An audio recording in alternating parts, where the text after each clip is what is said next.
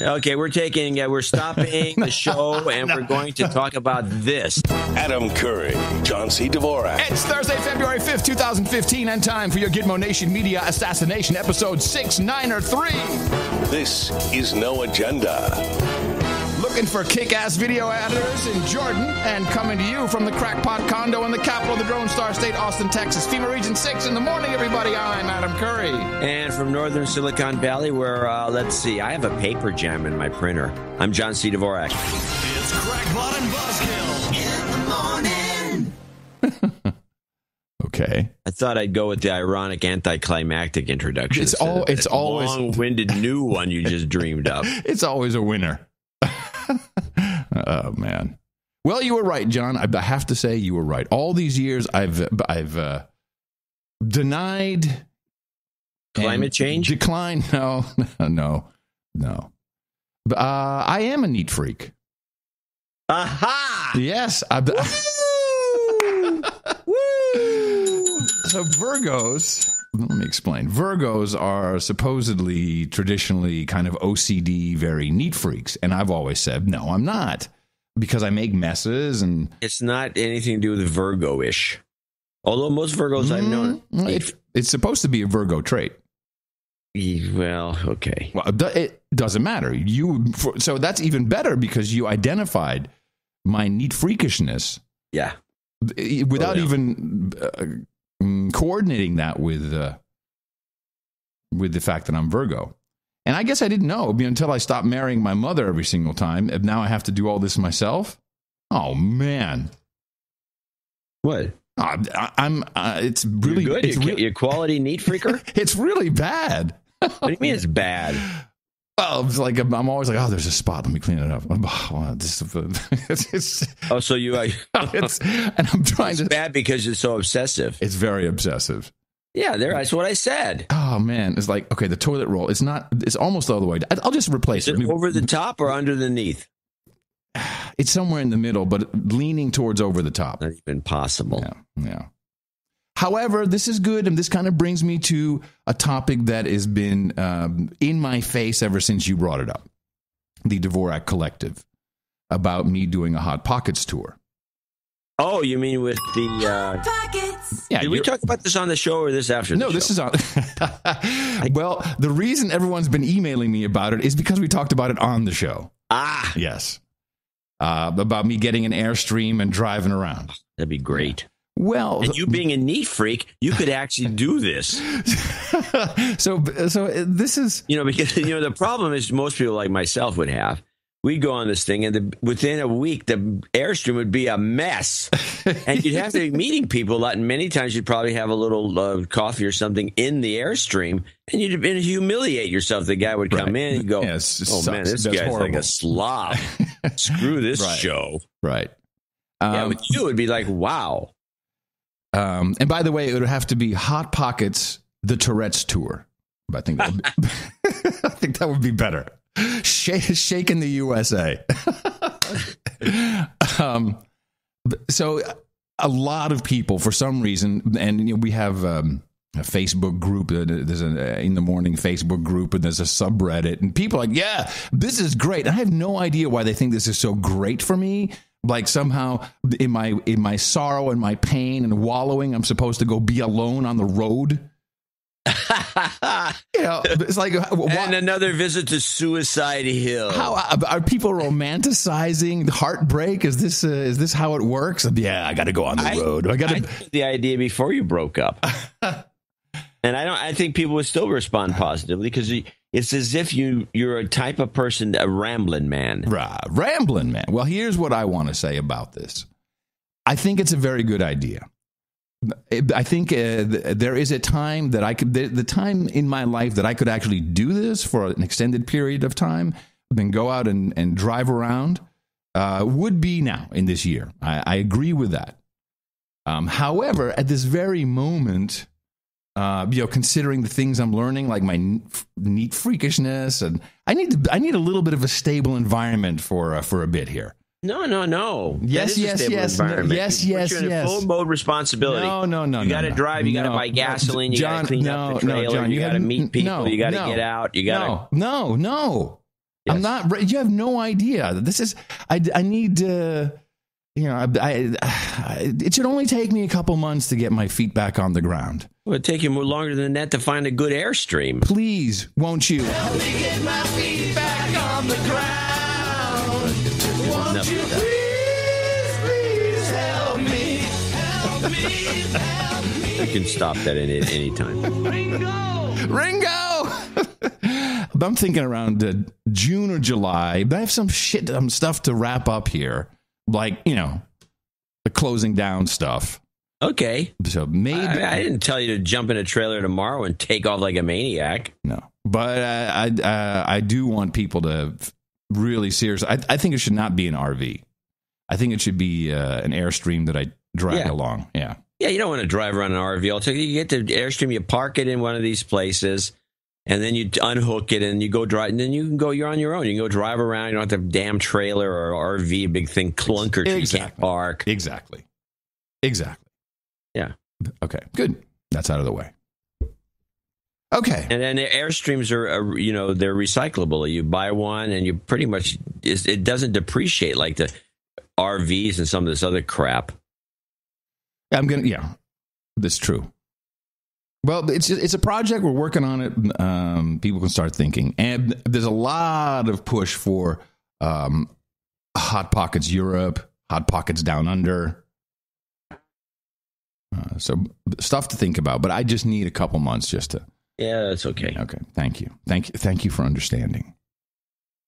Okay, Well, um, my printer didn't work, so I can't print out the the m- many uh, clips I have for today. hmm. Uh, do you want to do something about it, or are you okay? No, it's okay. When I'm gonna every once in a while get up and try to. try to try to un- unjam it.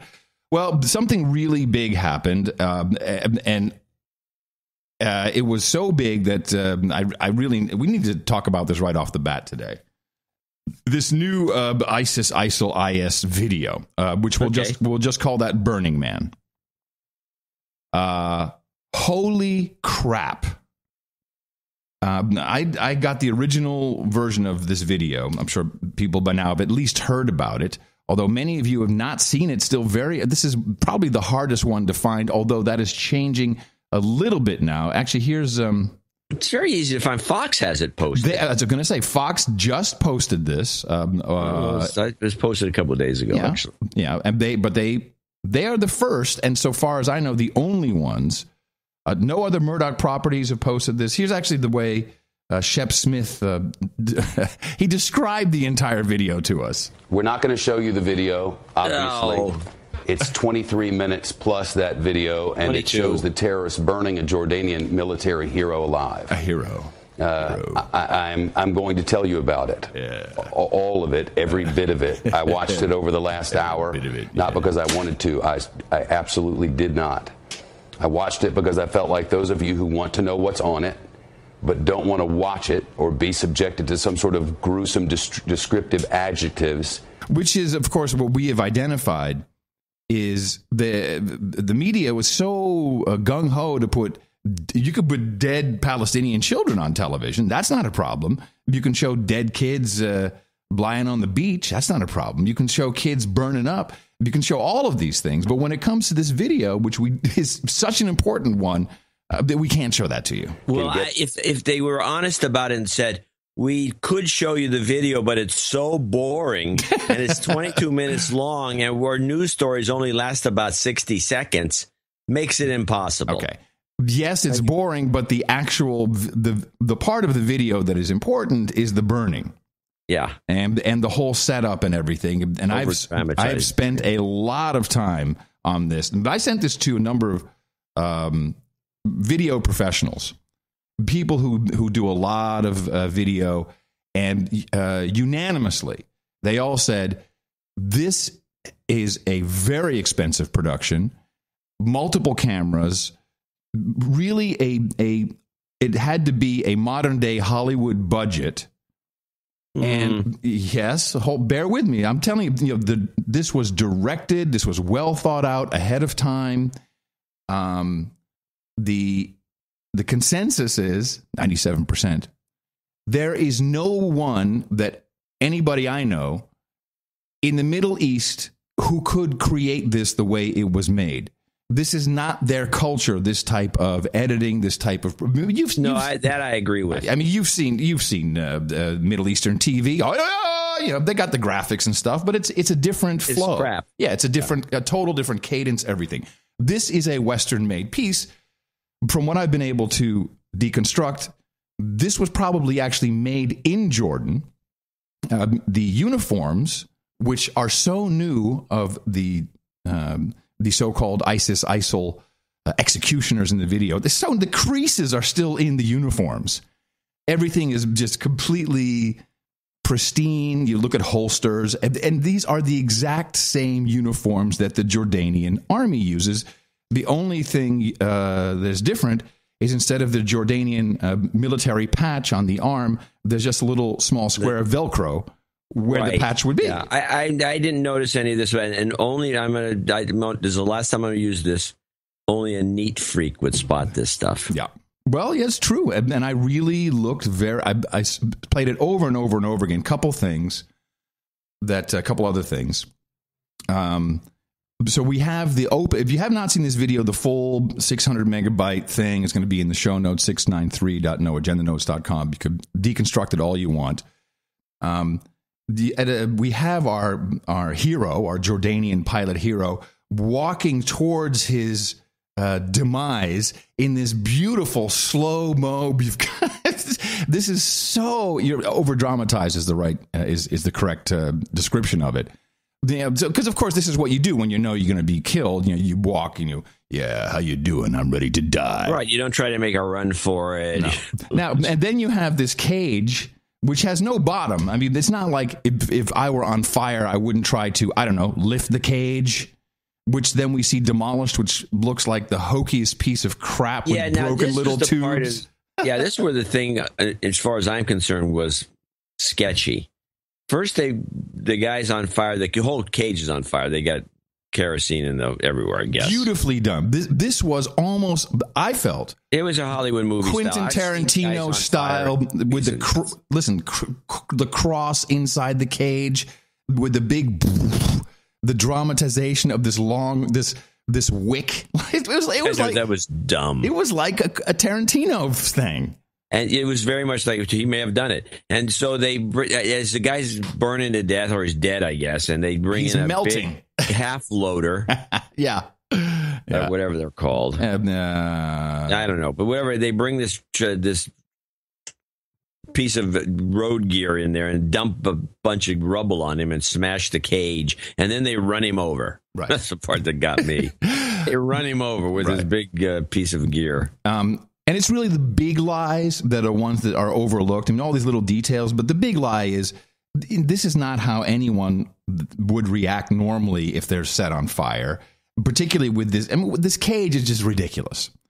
Um, now, so there's two styles of video that we have seen in the past um, several months that we have been looking at. We have the the traditional beheading video, which doesn't really show a beheading. We got Jihadi John, green screen, orange jumpsuit, and it has a a level of uh, production value, which is so easily debunkable with you know stills of heads on bodies, which is clearly poor work. It's just a still, so it looks more like the head has been photoshopped on onto the body, onto the the back, and then we have this style of video, which we saw earlier, but really didn't get any legs. That was the one where it was the you know this uh, deconstructed to be a like a 12 hour shoot with you know uh, all kinds of continuity issues, but where they supposedly sh- uh, shot these host- these um, prisoners execution style, which you also don't really see.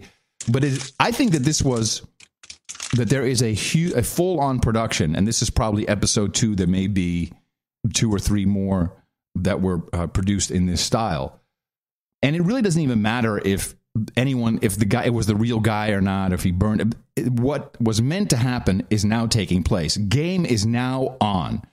Finally, we see the strategy. Jordan is going to go take out Assad. That's it. That's what this was for. That's the whole the whole reason for this high end production for this. I mean, can anybody The, re- I think the reason why news organizations don't want to show it is they don't they know it's fake. They don't want to be culpable for lying and contributing to this next thing that's going to happen. They, I mean, come on, Jack. Every everybody They don't want to be a stooge.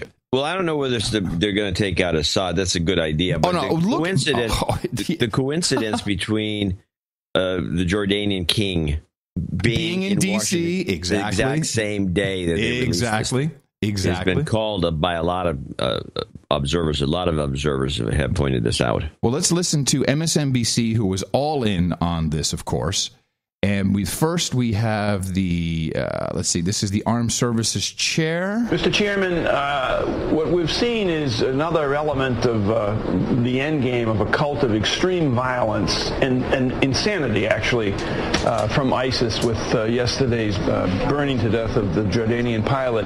How would you propose to co- which is now just taken as fact, as truth. I mean, the president said every, everybody's all in. We all saw it. If not, go online and seek it out for yourself. Combat this element of violence, which, which is so extreme to be preposterous? How would you propose to combat this? Well, in the short term, I think there are two things we've got to do. One is to support the Jordanians. Uh, our committee met with the king yesterday. This is the coincidence. He gave us kind of a laundry list of things he needs, like fuel and, and, and munitions and equipment. And he expressed frustration that it takes so long for our bureaucracy to get something approved to get to him. Now, this is very important. This is important. This is the chairman of the Armed Services Committee saying, you know, we have to we have to expedite. We got to get him stuff and training. We already have thousands of troops in Jordan, of course. Uh, We fly from the air bases in Jordan. Look at the map, see where Jordan is. Kind of right there to go into Syria. So, so that's a, a first and immediate step. Immediate. Secondly, I think we need to support Look, look for some kind of immediate uh, measure, maybe even a, an executive order or something to get that going without uh, legislation. the king and President Sisi in Egypt when they try to encourage other national leaders and Muslim clerics to reclaim the Muslim religion uh, and, and to isolate these Isolate. people who have distorted it so much and, and, and, and in a way reduce their recruiting appeal.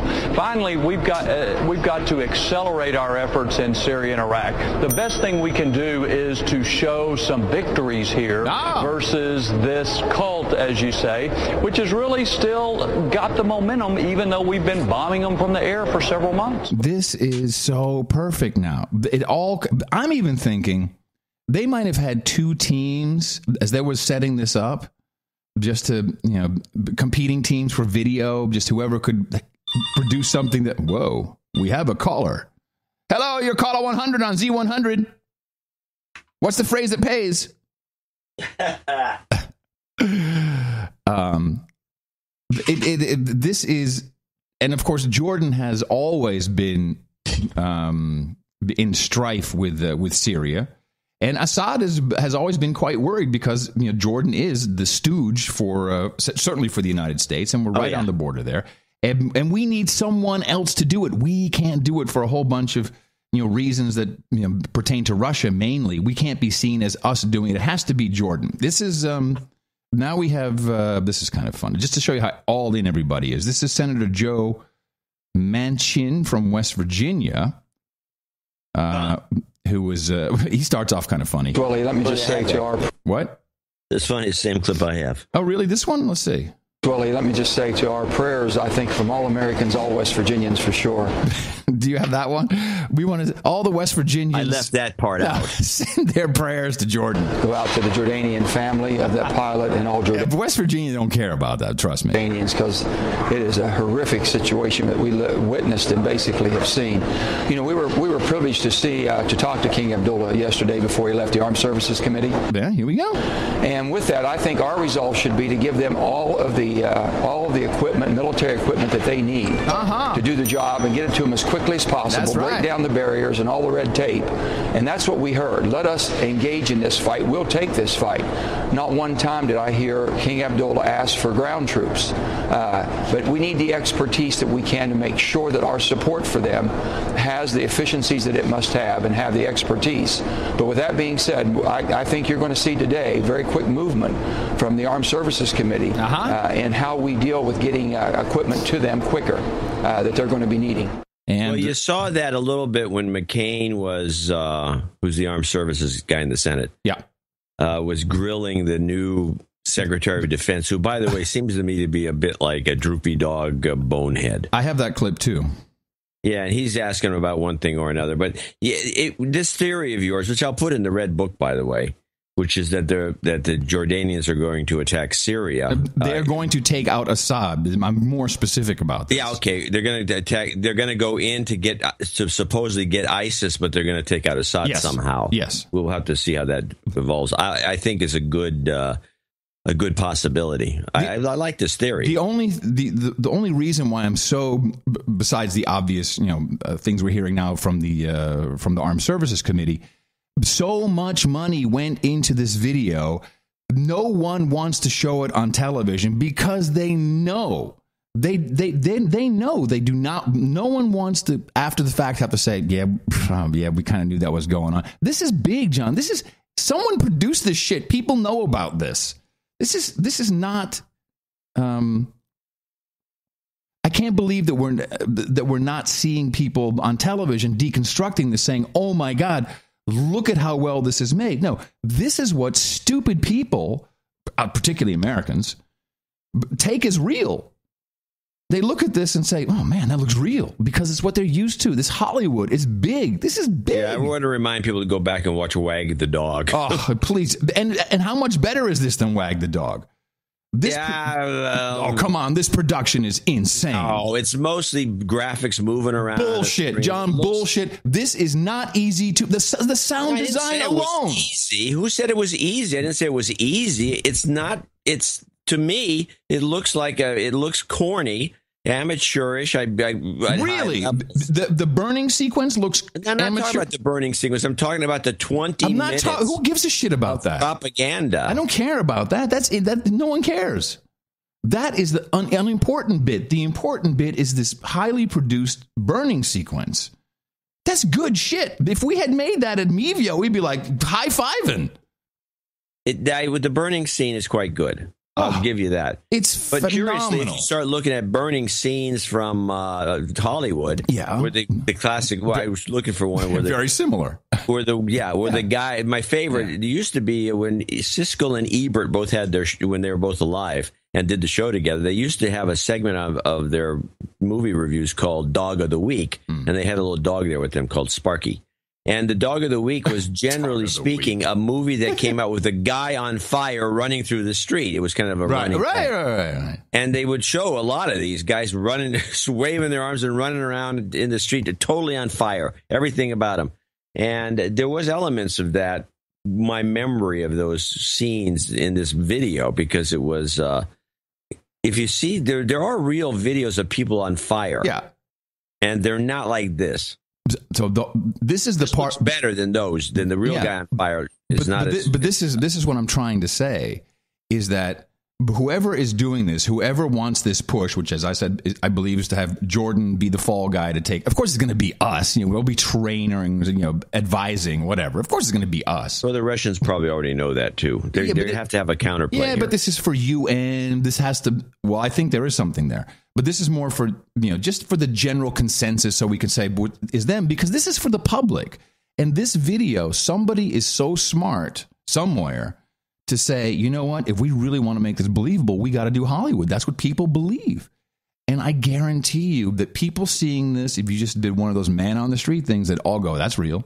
Because that this is where we're at. This is where people are this is what we're used to. It's well, by the way, Brian the Gay Crusader cracked me up. He said this is this whole thing with this fake um, you know, Hollywood sets for doing terrorism videos is almost lifted verbatim from a Max Headroom episode. um, which was uh, series one, episode five.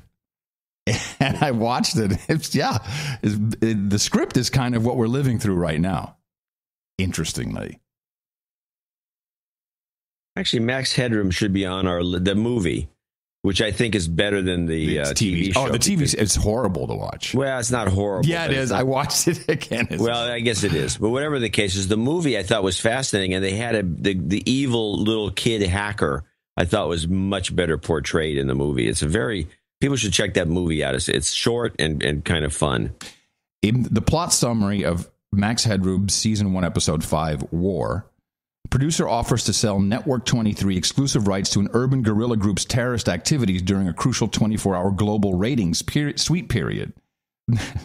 Network 23 declines the offer. Next day, the group blows up an entire city block, but only rival network Breakthrough Television has the coverage. It's good. It's interesting.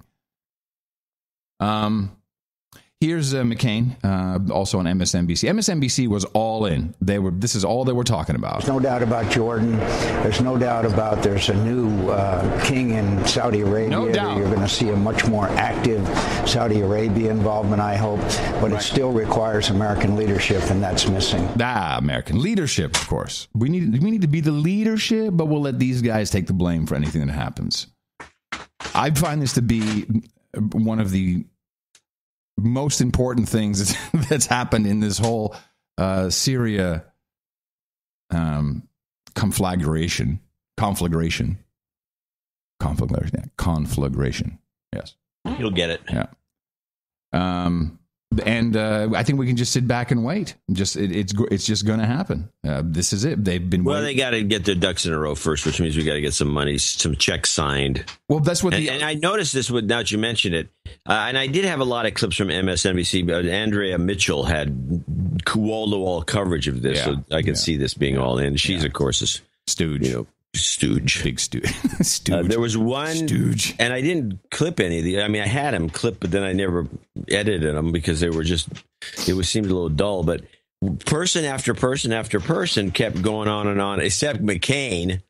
Kept going on and on about boots on the ground, not happening. Uh, in fact, the theme, the meme was this: Oh, uh, you know, these are the next door neighbors of these countries. Why are we? Why do they want us to get involved? We don't need food on the uh, feet on the ground because, yeah, if it was Mexico or Canada, we, it would be important to us. But that's what these people should be thinking. It's their next door neighbors that are having all these problems. They're, the ones that should be boots on the ground, and we can help them.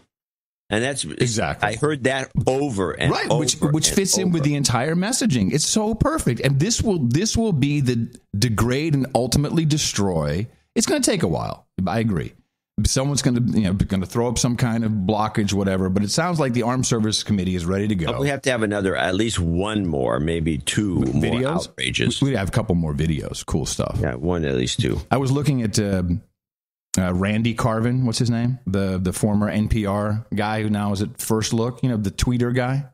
Yeah, what about him? Car- yeah, Carvin. Yeah. So he has he has a he he now Randy. works for uh, Pierre Drive My Car. Oh, does he now? Oh, that's great. Yeah. I'm glad to see he got work. And they do uh, uh, the reportedly. He's he works. He, it's called reportedly. The reportedly team. Reported.ly team. So what he has is a bunch of people twittering around, and then they, they then I don't know, and they put that on a Medium blog or something. And here's I just thought for a guy who is all in on you know tweeting, retweeting, the, everything that's Well, he's a tweetmeister. everything on the uh, uh, social media is true. So he said he he put a post up today. The slideshow begins a trail of flame traveling across the dirt from right to left, like a scene from the movie where the bad guy or maybe the good guy leaves a thin trail of gas. Da, da, da, da. Yet another uh, the flames consume him, a waxy human wick melting, then going up in smoke. There is no way in hell I'm going to share this footage with the public. What the hell? Why not? He said that? Yes, it's in his post. This is verbatim. There is no way in hell I'm not. I'm going to share this footage with the public. There is no consensus. What, makes him uh, high and mighty? He can see it, but we can't. Here it comes. There is no consensus on the role graphic imagery should play in journalism. Really? What? He says there's no consensus, all caps, on the role graphic imagery should play in journalism. For some, it is an absolute taboo. For others, a necessary evil to expose the evil in others. For me, I've usually come down on the latter side of the argument. Pfft.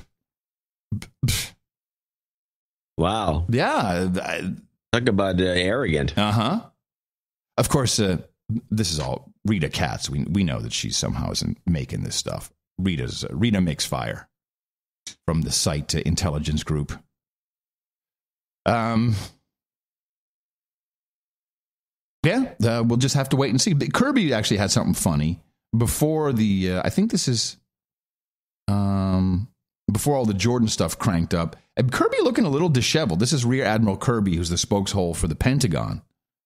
And this guy, he just has funny little phrases that he uses, but- which I like. Yeah, I, I have a whole series of phrases that I want to talk about later, but you might be starting it off for me. I'm going to try. Ah, let's see. Do we have him here? Hold on. Where's this? Well, that was interesting. A little, that was his mouth exploded. Yeah. How do you think the, the Pentagon, the United States, and the coalition will respond to that killing and to the killing of other hostages? We, we haven't made it a, I- and I can only speak for the United States military. Uh, uh, we haven't made it a point to respond directly to um, these killings, uh, even when these were um, when American citizens were killed. Oh. But I, I don't think the military actually makes decisions. I think they can execute decisions that are made. But okay, What we have done and will continue maybe that's changed. Maybe maybe I'm behind. to do is uh, degrade and destroy their capabilities and Okay. continue to put them on the defensive, which, in which they still remain today. Uh, so there's, uh, I wouldn't, at least from an American military perspective, I wouldn't look at this as a, you know, it's not tit for tat. Tit for tat. There we go. A good one from Ad- Rear Admiral Kirby. Tit for tat. Is that a military term? Well, I think the Marines use it a lot. Hmm. Uh, tit for tat. Yeah, that's an old phrase. Well, I got one too that's kind of interesting. This is the uh, the clip You which finally discusses. have your, you finally have your list printed out. No, I've got it in front of me on the Ah, screen. okay, it's good. still printing. Right. Um, here's the here's I luckily I kept all these on the one page. If you notice a little 38k 80 the little bitty clips. It may have been triggered by this or not, but this is the a long clip on the ISIS video editor, Ah, eh, which is worth listening to and eh, because of what you already said. But let's play that, and at the very end, there's a there's a curious usage. okay. Technical sophistication in, as propagandists of these terrorists. Uh, as you analyze this, how do you go about uh, trying to authenticate these videos? Well, look, there we know that this came out from from the particular source came out from just because of the, the way it was released. But uh, you know, one of the questions is, is who puts together these videos, and What I did he think the just say, is by the way? I'm sorry. the technical source which in which it was released and he just babbles about Right, and this that- is where we're getting a lot of by the way Right. This is and that's the site intelligence group. yeah So right. this guy knows. He already knows. he knows but if you notice the way he says it he he won't say it No. Do you, do you want to get killed? This is big business. you don't want to be running around saying, "Hey, by the way, Rita Katz does all this shit. She's hiring people in Hollywood." You don't want to say that. That is a good way to get whacked. it was released. But uh, you know, one of the questions is, is I didn't say it either, by the way. who puts together these videos and i think the answer is, is you have to look at this from two different perspectives one is, is that the, the way that technology has evolved even with a laptop computer these days if you have the right software if you have final cut pro or, or similar packages you know you don't have to be an entire news team to put together what looks to be hollywood, hollywood quality and, and in fact this is what this appears to be i mean it's, it got very sophisticated special effects in this video on the other hand special you know, effects Yeah. But hold on a second Yeah, that the, what he the only special effects would be the slow mo burning and the slow. Yeah, the slow motion. a little bit that's a little bit of special effects but to me special effects is a little higher burning. end than slow motion Well, just saying And- special effects uh, implies that it's it's special effects. It's not a Yeah, real so burn. it's yeah. fake. Yeah. Who is this guy? He, oh, I can't remember now. He said they, she introduced, introduced him at the beginning. He's one of the many CIA guys that Oh, come on these shows. All right. All right. Huh, interesting. Okay. together what looks to be Hollywood, Hollywood quality. And, and in fact, this is what and I just have to take exception with what he's saying. No, you can't. If yeah, you can. You have the software. You can have After Effects and all that. This was multiple cameras. This was this was someone knew what they were doing. This is not just I, I got Final Cut Pro. I could make a movie. Uh uh uh uh. uh. No, this was a this was a bigger production. This appears to be. I mean, it got very sophisticated special effects in this video. On the other hand, you know, you do have to have some some talent or some experience. And one of the questions has been, you know, who exactly is behind the scenes doing this on behalf of the Islamic State? Is this just some nobody who happens to have, you know, computer expertise or, or, or familiarity with this, or is this somebody who, you know, may have once worked in a newsroom, uh, may have once produced videos or, or created videos, um, and, and has joined ISIS and is now using those those those skills to that regard. Ah, yeah. Okay. Okay. Well, anyway, yeah, you get the picture. I do. But the thing about this was to the, he said at the very end, to that regard. Yeah. To what that re- kind of usage is this? You're going to say, well, I don't know. I'm going to go to the thing to that regard. Isn't that? Is it what? Tell I've me al- what it means. I've What always. does it mean? I'm going to try. I'm going to try. I'm going to give it. A, I'm going to give it a shot. When someone says to that regard, in that form, in that spot, in what he's talking about, it sounds to me like he's just confirming that he already knew something, and he's explaining it, trying not to let you know that he really already knew, and therefore uses to that regard. Yeah. Something Well, like that. I think it's just more gobbledygook that we're getting from everybody in the government. And I just looked up uh, the worst case scenario is, is Josh. Ah, Josh Earnest. Yo, God, this guy is. I can't. illiterate. I can't watch him anymore. He's well, here's, painful. Play play this one. This is a uh, a Josh like. This is John like effort. This is somebody else, but this is another. This is the kind of usages that are getting on my nerves, and I want people to start identifying them as they come out. Play this John like effort. countries in the Gulf whom they had hoped might be able to effort the release of this pilot. That's all. That, what is that? Yeah, that's it. That's it. They want to effort the release of the pilot. What kind of sentence is that? Let me hear that. That's interesting. Hold on a second. I want to hear that again. Effort the release. The Countries in the Gulf whom they had hoped might be able to effort the release of this pilot. Huh. So they're turning everything into, uh, you know, they're just turning words around. The word effort and e- as a noun and a verb. Uh, it's like, why, why are you doing this? To effort the release. This is all government talk. This is all, if you were in one of these agencies. That's that- literally that had to be something written on the prompter. It's I, th- that is just written that way because the CIA talks like that or whoever. And yeah, no, Pentagon somebody speak. talks like that, and Interesting. the stuff. That's the point. You're I- now. Here's spot on. another interesting use. This is Josh Earnest, and this is the he uses it. I've never heard anyone use this, and we have to actually could do a little work and look it up and see how it's used, if it even makes sense. Play Josh commend to. Uh, okay, hold on. One other thing I want to uh, also mention is uh, I want to commend to your attention a statement from the president's top counterterrorism advisor. Commend. Commend to your attention. I want to commend to your attention. That's weird. What kind of what kind of English is this? It, it's um, I would say it could also be uh, legalese. They're getting real careful about how they speak. That's that's what I would think. To praise formally or officially. That's not what yeah, he's using it He's as using it. entrust someone or something to. I want to commend them this to your attention. I want to entrust you. It's bull crap. Entrust some. He yeah, wants you to read something. I could instead of saying I would like you to read this, he says I'd like to commend to your attention. Ah, which is wink, wink, nudge, nudge. This is the truth. No, it's Hmm. just it- it's it, wink, wink, nudge, nudge. I'm an idiot. he says it again. Try the second clip of him saying command. Uh, I would certainly commend to your attention the statement from Man. Okay, well, I guess it's the same clip. No, Okay, no, here's no, another- no, no. It was different. Yeah, yeah different. command. I want to Yeah, command. well, we'll do the two clips here. The first one. One other thing I want to uh, also mention is uh, I want to commend to your attention a statement from the president's top counterterrorism advisor. Clip two. Uh, I would certainly commend to your attention the statement Okay. from That is Okay, kind different. of That's different because It it's is different. certainly in the second Yeah, clip. yeah, yeah, yeah. So he uses okay, he does that. So now he does this one.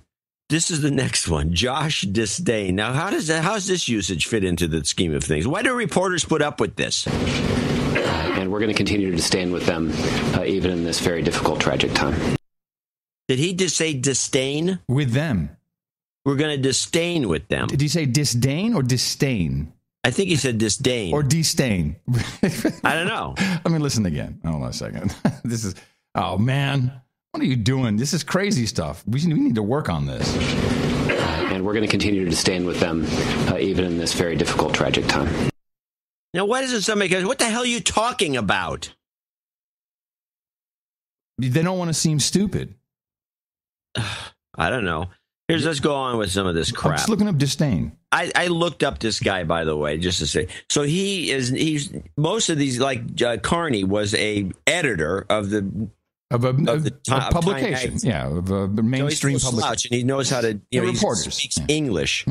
This guy is a political science grad from some university after going to would look like a, it's actually a girls' school Hmm. that uh, was a private school, and he went to the And he got a political science degree, and has worked in the government ever since. He's never been a reporter or an editor or anything, so he speaks like one of the like an idiot bureaucrat who doesn't have a good command of the English language, and it's getting on my nerves. That's probably one of the reasons you don't like listening to him.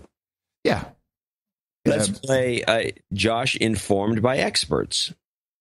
Okay. Uh, this is a process that's been informed by experts. This is a process that's been, informed So the by pro- experts. The process what has. does that mean? Ah, uh, okay. This now removes any culpability from any person because the process was informed by experts, not the people creating the process. No, the process is its own entity. This is legalese, John. This is they're getting ready, and nobody wants to be holding the burning, you know, the burning stick or whatever it is. Now, Ah. this is you're reading too much into this. Okay. This guy is a right. moron. That's the problem. And he's using these words. I've seen it. I worked for the government. I've seen these guys go on and on and on and say nothing and using that's cop talk. Cops speak like this. You know, they have it's like they're when they're testifying, but not even in if you meet with them, they speak like this. It's just the way they talk all the time. It's not like they turn it on and off. And this guy, I believe, talks like this all the time. Here's another little annoyance that I really have always hated this. And this start, I haven't heard it for a while, uh, although I think it was sneaking into Carney's language. I think he may have quit because of this, because he starts to see himself speaking like this. Play the, jo- the Josh put forward. Josh put forward. Uh, she made reference to the fact that the office of uh, the office of the director of national intelligence put forward a report today. Yeah. Did he submit a report? and I put it forward. yeah. No, Did he take it on his desk and move it a little bit forward? Is that what he did? Put Yeah. forward? He put it forward? Okay. Does he put it forward? Now you're nitpicking. you hate this guy. I'm not nitpicking. This is this is what we have to endure. This kind of thing. We he's not even saying anything. This doesn't mean anything. And the, hello? the White House is going to turn into a bunch of bullshit artists. Uh-huh. Oh, wait a minute. What am I thinking? Okay, we can cancel this segment. They already are bullshit artists. In all your years on Mother Earth, have you ever seen such bullshit in the White House? Actually, no. No, right? It's sad. Especially with that Jarrett woman. She was sitting right next to Obama as he's going on and about the V- health. oh, VJ forty four. VJ forty four. That's, that's her. That's her Twitter handle. Oh God. yeah. So I have one other thing with with Josh. We just want to play it. Yeah. I'm noticing that he has. There's a certain style of his speech which I'm going to document because I've got a couple of examples of it. Of a of a, I call it like half up talking, mm-hmm. Where you kind of and all- everybody speaks this way. Uh, Susan Power, uh, Susan was it Susan Rice speaks this way. Samantha Power not so much, but uh, Jarrett speaks this way, and there's other people that have worked in the uh, Oval Office amongst the staff there. They speak this way. They, We need to kill them. Like this? No. We need to kill them. Okay. They would, that's strictly Fox. All right. So play the Josh EPA climate and up talking. What the last word he says is up talked, but it's not. It's it's a certain kind of Chicago up talk. Is the Ah. only way to describe it. And it's I'm hearing it more and more and more. And it's, it's I hope it doesn't affect the way people speak to each other, but it's terrible. Just one more and uh, final topic. The EPA uh, weighed in with this assessment of the Keystone Pipeline today, say, saying that it would indeed have effects on climate change. Doesn't this basically show that the president's test on whether or not to approve Keystone is will not be will not be fulfilled? Well, I, I did see the letter that was that, that the EPA put out today. Uh, I'm not going to comment, you know, on this process, or at least the substance of this process, uh, until the State Department has concluded their uh, broader review about to determine whether or not the this project going forward is in the national interest. So certainly the president. President has laid out his own clear criteria about how he believes the project should be evaluated. And uh, as part of the process of collecting input from relevant agencies across the federal government, the EPA put out their own uh, supplemental environment in, environmental impact study. I've noticed this, and I, I think study. Yes, I think um, this is whenever he he or anyone else for that matter in a briefing is reading from the tabs, is reading from the documents, and they're trying to make it flow like they're just speaking, but no, they're kidding nobody. I think that's where the um, where the up talk, this half up talking comes comes in because they're trying to be they're really trying to read verbatim because it's all it has to be. Uh, that that would explain it, but I it's I've noticed this cadence from other people. Uh, he's just doing it to annoy you. Well, I'm getting annoyed. did, I, did we play the chart of path forward? Uh, no, no, no. I'll play that too. Chart a path forward. I don't think so. Let's see. We'll help chart a path forward. yeah, that's a statement that's written by somebody. We'll chart. Yeah, yeah, Yeah. I'm sure it is. written. We'll chart a path, path forward. forward. Yes. What does that even mean? We're going- we're gonna get We're going to to- bring a map maker Yes. in. Yeah, we're going to get a quill and some ink, and we're going to chart. We're going to get a sextant, and we're going to chart our path forward right into Assad's living room. Let me. Are you done with Josh? I won't go on with this, but I'm just telling you, I'm on the lookout. Oh, good. This guy's got to go. Oh, he will. Don't worry. Uh, back to McCain. Uh, of course, we had this the hearings, the senatorial hearings for the confirmation of Ashton Carter uh, as the replacement for Chuck Holy Hagel. crap! When he comes out, he looks a hangdog. Yeah. He looks like a bureaucrat loser. Well, he's a shill. He was there to do whatever he's told to do, which was the problem with Hagel. Is Hagel was you know annoying, thought for himself a little bit. and for people he- who were going to get killed. Hagel had a hangdog look too. Well, he got beaten down into submission. That's why he got beaten. They said, "Look, you're resigning. We're going to really kill you, or something." He, he, the guy, it's, he's sad. Uh, McCain and uh, Ashton Carter. Uh, I I think the This is on the strategy for uh, Right, this is the good clip. Yeah, ISIS, ISIL, IS advertising. Uh, I I think the um, uh, uh, a, a strategy connects ends and means, and our ends with respect to uh, ISIL needs to be its lasting defeat. Uh, I say lasting because it's important that when they get defeated, they stay defeated. Uh, and uh, that is why it's important that uh, we have uh, uh, uh, those on the ground there who will ensure that they stay defeated once defeated. Uh, it's a, different on the two sides of the border. This guy is so funny. He knows he's charted the path forward. He knows what's going on. We need Oh, yeah, yeah. we need Jordanians to be uh, there on the ground, but we're going to uh, you know be uh, forward to chart our advising. We'll be advising. It's one enemy, uh, but it's two different contexts.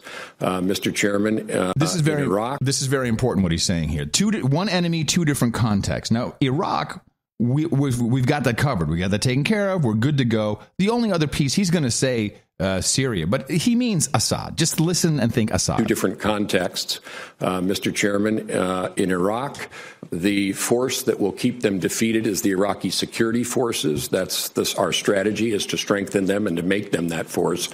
On the Syrian side, not to take too long it, uh, about it, uh, we are trying to build the force that will uh, keep them defeated, and that's going to be a combination of moderate Syrian forces and regional forces. Okay, let's just uh, deconstruct that. Moderate Syrian forces, which is just such a contradiction in war terms, and then regional forces, which is uh, Jordanians.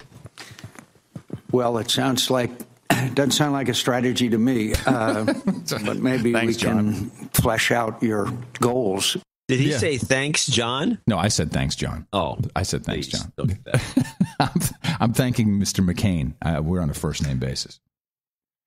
Um, so this may not take very long. I don't know. It could take months and months, but I think you know, depending on what happens in this Armed Services Committee and whatever power they have, what can a committee do? Can a committee just say, "Let's do something now"? Can they make no, they decisions? can't do like that? anything. They they're, they have these committees so that when the session of Congress meets and they're or they're writing up a bill, the committee comes in and says, "No, this is no good. You can't do it this way." Mm-hmm. They're like oversight. It's like oversight of of whatever they're investigating and the bill making process. Right.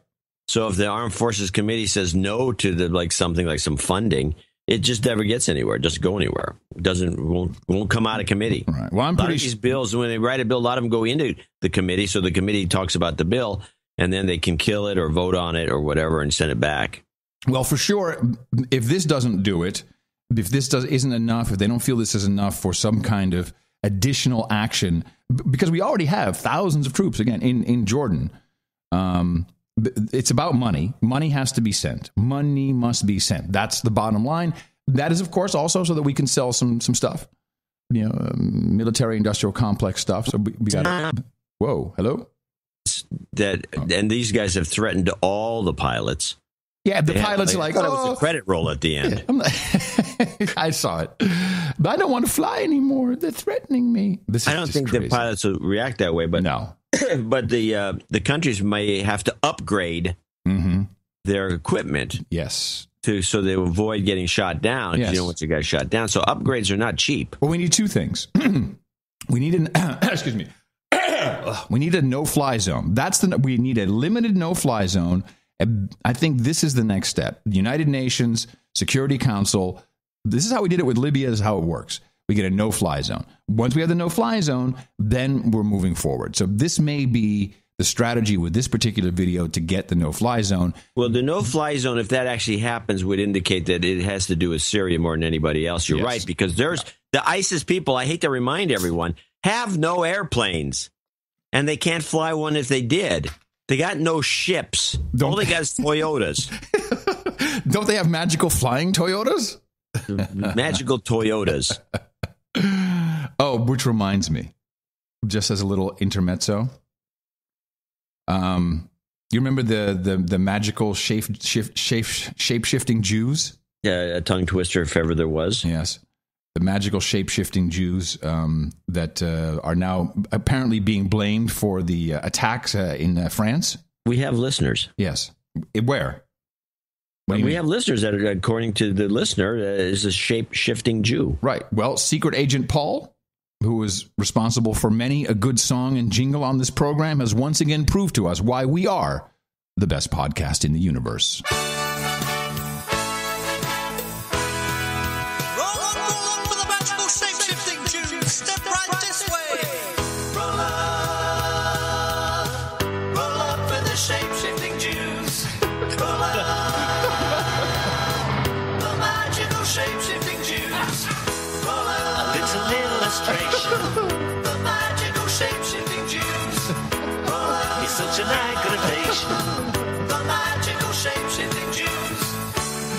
I tell you, no other program anywhere, and probably no other podcast would ever have that for you. No, and that means uh, Dvorak.org slash NA, just a reminder. Oh, man. Oh, it's so good. That is so good. It is funny. The, the best thing is, Jews who listen to our show love this whole shape shifting Jew thing. They think it's funny. Yeah, well, they do, and they probably uh, wish it were true. they will probably want this clip. Yeah, it was Sir Jono of the shape shifting Jews. I'm telling you. Uh, anyway, so uh, from that intermezzo, I uh, would like to propose that um, I thank you for your courage and say in the morning to you, John C. Dvorak. Well, in the morning to you, Adam Curry, and also in the morning to all the ships at sea, boots on the ground, feet in the air, subs in the water, and all the dames and knights out there. In the morning to everybody in the chat room, noagendastream.com. Uh, good to see you all lined up, ready to go. In the morning to our artists who are always uh, producing just fantastic work. Martin JJ came back hard uh, with the artwork for episode six. Slamming it. slamming it. But again, good art, some great stuff being made. Um, noagendaartgenerator.com. Really appreciate the work, obviously. I thank you, Martin JJ. Back on the docket, back on the stick. You know, I always wonder why, you know, when you get the spreadsheet, Hmm. it's never at the top. It's always down a few cells, you know, when it opens. Uh, well, interestingly, I opened the spreadsheet in the OS 10 preview app And which is I thought it was just a PDF viewer, but it can also view and and understand how to open. Oh, you up- know that thing views a lot of stuff. It's actually a pretty good It's a great product. They should have an equivalent for Windows machines. and uh, so it just opens. And I can't really do much. Can I? Uh, no, I can't. Yeah, I can't change cells or anything. But it's just like one page, and it, no, it starts at the top for me, so I don't have this issue. Oh well, okay, then you wouldn't know what I'm talking about. No. Uh, let's see. We have we got a few uh, donors that came in big. Ryan Benson in Tampa, Florida, six hundred dollars, and he wants to thank you for the show and what you provide every week, twice. This donation should make me a knight, and I wish to become knight of the Tesla coil, as I'm both fascinated by the man Tesla, Yeah. the technology, and much to your chagrin, his money comes from winnings. Much to your chag- chagrin, oh, the chagrin. This money comes from winnings uh, on Tesla stock. okay. All right. Yeah, so, that's yeah. fine. Yeah, that was that's actually fine. a good investment for a while. It comes and goes. It goes down. It goes I'm up. I'm good with that. I'm only. Uh, I only ask for job karma. Job, job, jobs. A Mm-hmm. more important karma for Adam in his difficult time, and a chef's choice of whatever jingles JCD wants. This is this is not a. You're the you gents are the singular light in the uh, dark sea of manipulation and propaganda. You're worthy of every penny and more. My only regret is I'm not independently wealthy and able to put millions in your funds to keep you running as long as you want to. If you put millions in my funds, I'll be quitting and running away to an you island. would- You are too much of a of a neat freak fanatic when it I'd, comes I'd to this be. news. I'd be. Just, yeah. just know you'd be neat with the money. It'd be a nice pile. Just know that uh, for me, there are probably thousands who rely on your intelligence and independence for their daily sanity. We get a lot of checks, not just from the anonymous lesbians where, who I first noticed it from, that has in a little note on the check Yeah. says sanity. Look Really? one today. I think Nutting's me. Is that, is that is that just something written on, or is that a? yeah, it's written on. They write sanity in the little note. Oh, in the little memo part. yeah. So what was this for? And you write sanity. yeah. Oh, but yeah. Oh, when I had um, when I was doing some you know therapy, uh, I would write on the check all kinds of stuff like blowjobs, fun. You know, see if anyone noticed it. Yeah, with people I noticed. Anyway, so much respect finally to Sir Ryan of the Tesla coil. So he needs a couple of things, and I, I, I, I think uh, what could I come up with? Do you have anything you want to uh, drink that we haven't played for a long time? Let's play the the, the self esteem clip where there no there's no winning. Oh, uh, that's uh, tell a secret. Is uh, is that okay? That's uh, all right. And I'll do um, I'll do a uh, a dude named Ben, a new one from Matthew Frost. Dude named Ben, and then we'll give him the jobs card. Oh, there's no winning. We don't like to foster a competitive atmosphere, but we laugh a lot. Now everyone hug and share a secret. Everyone's crazy about a dude named Ben. Jobs, jobs, jobs, and jobs. Let's vote for jobs. You've got karma. telling you, best podcast in the universe. And next from Hilo, Hawaii, Sir Dennis Nutting. No, no. He sent a note in. He uh, came up with four hundred dollars, and he became baronet. Nice. And he says, "Hello again, uh, my podcasting pals, Adam and uh, Adam. I am very sorry to hear of your troubles. Hang in there. We men of many wives feel your pain. Mm-hmm. It looks like Job Karma is working for me. Therefore, find and enclose the check for four hundred dollars and three cents. Oh, I forgot to put the three cent. No, it said four hundred dollars, uh, which takes me to double knighthood and whatever rank that entitles me to. If I may have a name, I'd like of the Spam Sandwich Islands, Isles, Isles of the, the Sir Dennis Nutting of the Spam Sure. Sandwich Isles. I I think three hours of show is not long enough. Mm, I usually listen twice. nice. Okay. All right. Uh, give him another karma, and then we'll be. Absolutely. You've got karma. Uh, Greg Davis in Austin, Texas, three thirty three thirty three. Please wish me karma to get sales consulting work at Greg Davidson Consulting. No, oh, Gre- Greg Davis Consulting. Greg Davis Consulting.com. And let Sir Gene know I have been de-douched, followed by a de-douching and kid. Okay. He wants a de-douching, I guess, followed by, or, or what is this even? Yeah, he wants a kid boom shakalaka, and uh, and OMG, that was so amazing. Okay. Yeah, and I'll throw in a karma just because he deserves it. You've been de-duped. Boom shakalaka. Boom shakalaka. Oh my god, that is amazing. You've got karma. There you go. Nailed that. Donna, Donnock, Donnock, Hatton, Donna, Donna, Donna, Donna, Donna, Donna, Donna, Donna, Oh, Donna. Maynooth, uh, County Kildare, Ireland, 33333. ITM gentlemen, this donation is long overdue as I intended to donate once I began my slave job at a future drone based online retailer a few months ago. Hearing the generous donations coming from my Irish countrymen in recent episodes finally provided me the guilt sauce I needed to round out my shame sandwich and force me to donate. However, I have paid a price for my sluggish pace thanks to the recent poor performance of the euro against the dollar. Yes, you would have gotten Yeah, more no bang kidding. for your buck earlier. Yep, yep, yep. My salary in US dollars has gone down 25% since I started work. And to add to the karmic retribution, I now have to fork over more slave chits to make an equivalent donation. the, the lesson is clear. The chits. no agenda karma works both ways. Can I get some finishing this damn PhD karma? Yeah. And it's a real times three, tastefully followed by an OMG. That's amazing. That- ah, there's your random number again. Yeah, it is. it happens every Do it single wrong. time. All right, all right. Uh, keep up the good work. I'm sorry. Yeah, okay. Keep it good works, gents. You're helping all of us keep hold of a little sliver of sanity in this world. Yeah. All right. All right. Here we go. It's real. It's real. It's real. Oh my god, that is amazing! You've got karma. Yay. Uh, Jacobus Boersma. Jacobus Boersma. Yeah, that's a Dutch name, isn't it? Yeah. Uh, New York at 33333. Longtime listener, first time donator.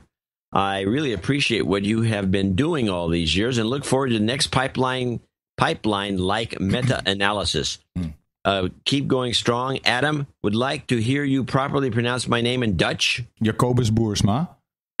John, the American pronunciation is Jacobus Boersma.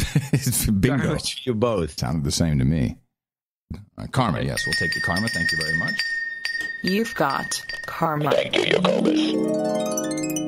Paul J. Sinkowski in Winooski, Vermont. 33333. Uh, short note, ITM gentleman, Sir Paul of Winooski, responding to the douchebag check.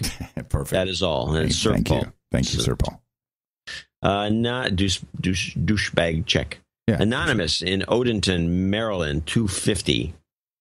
Uh, I have not lost interest in the show. Please keep it going.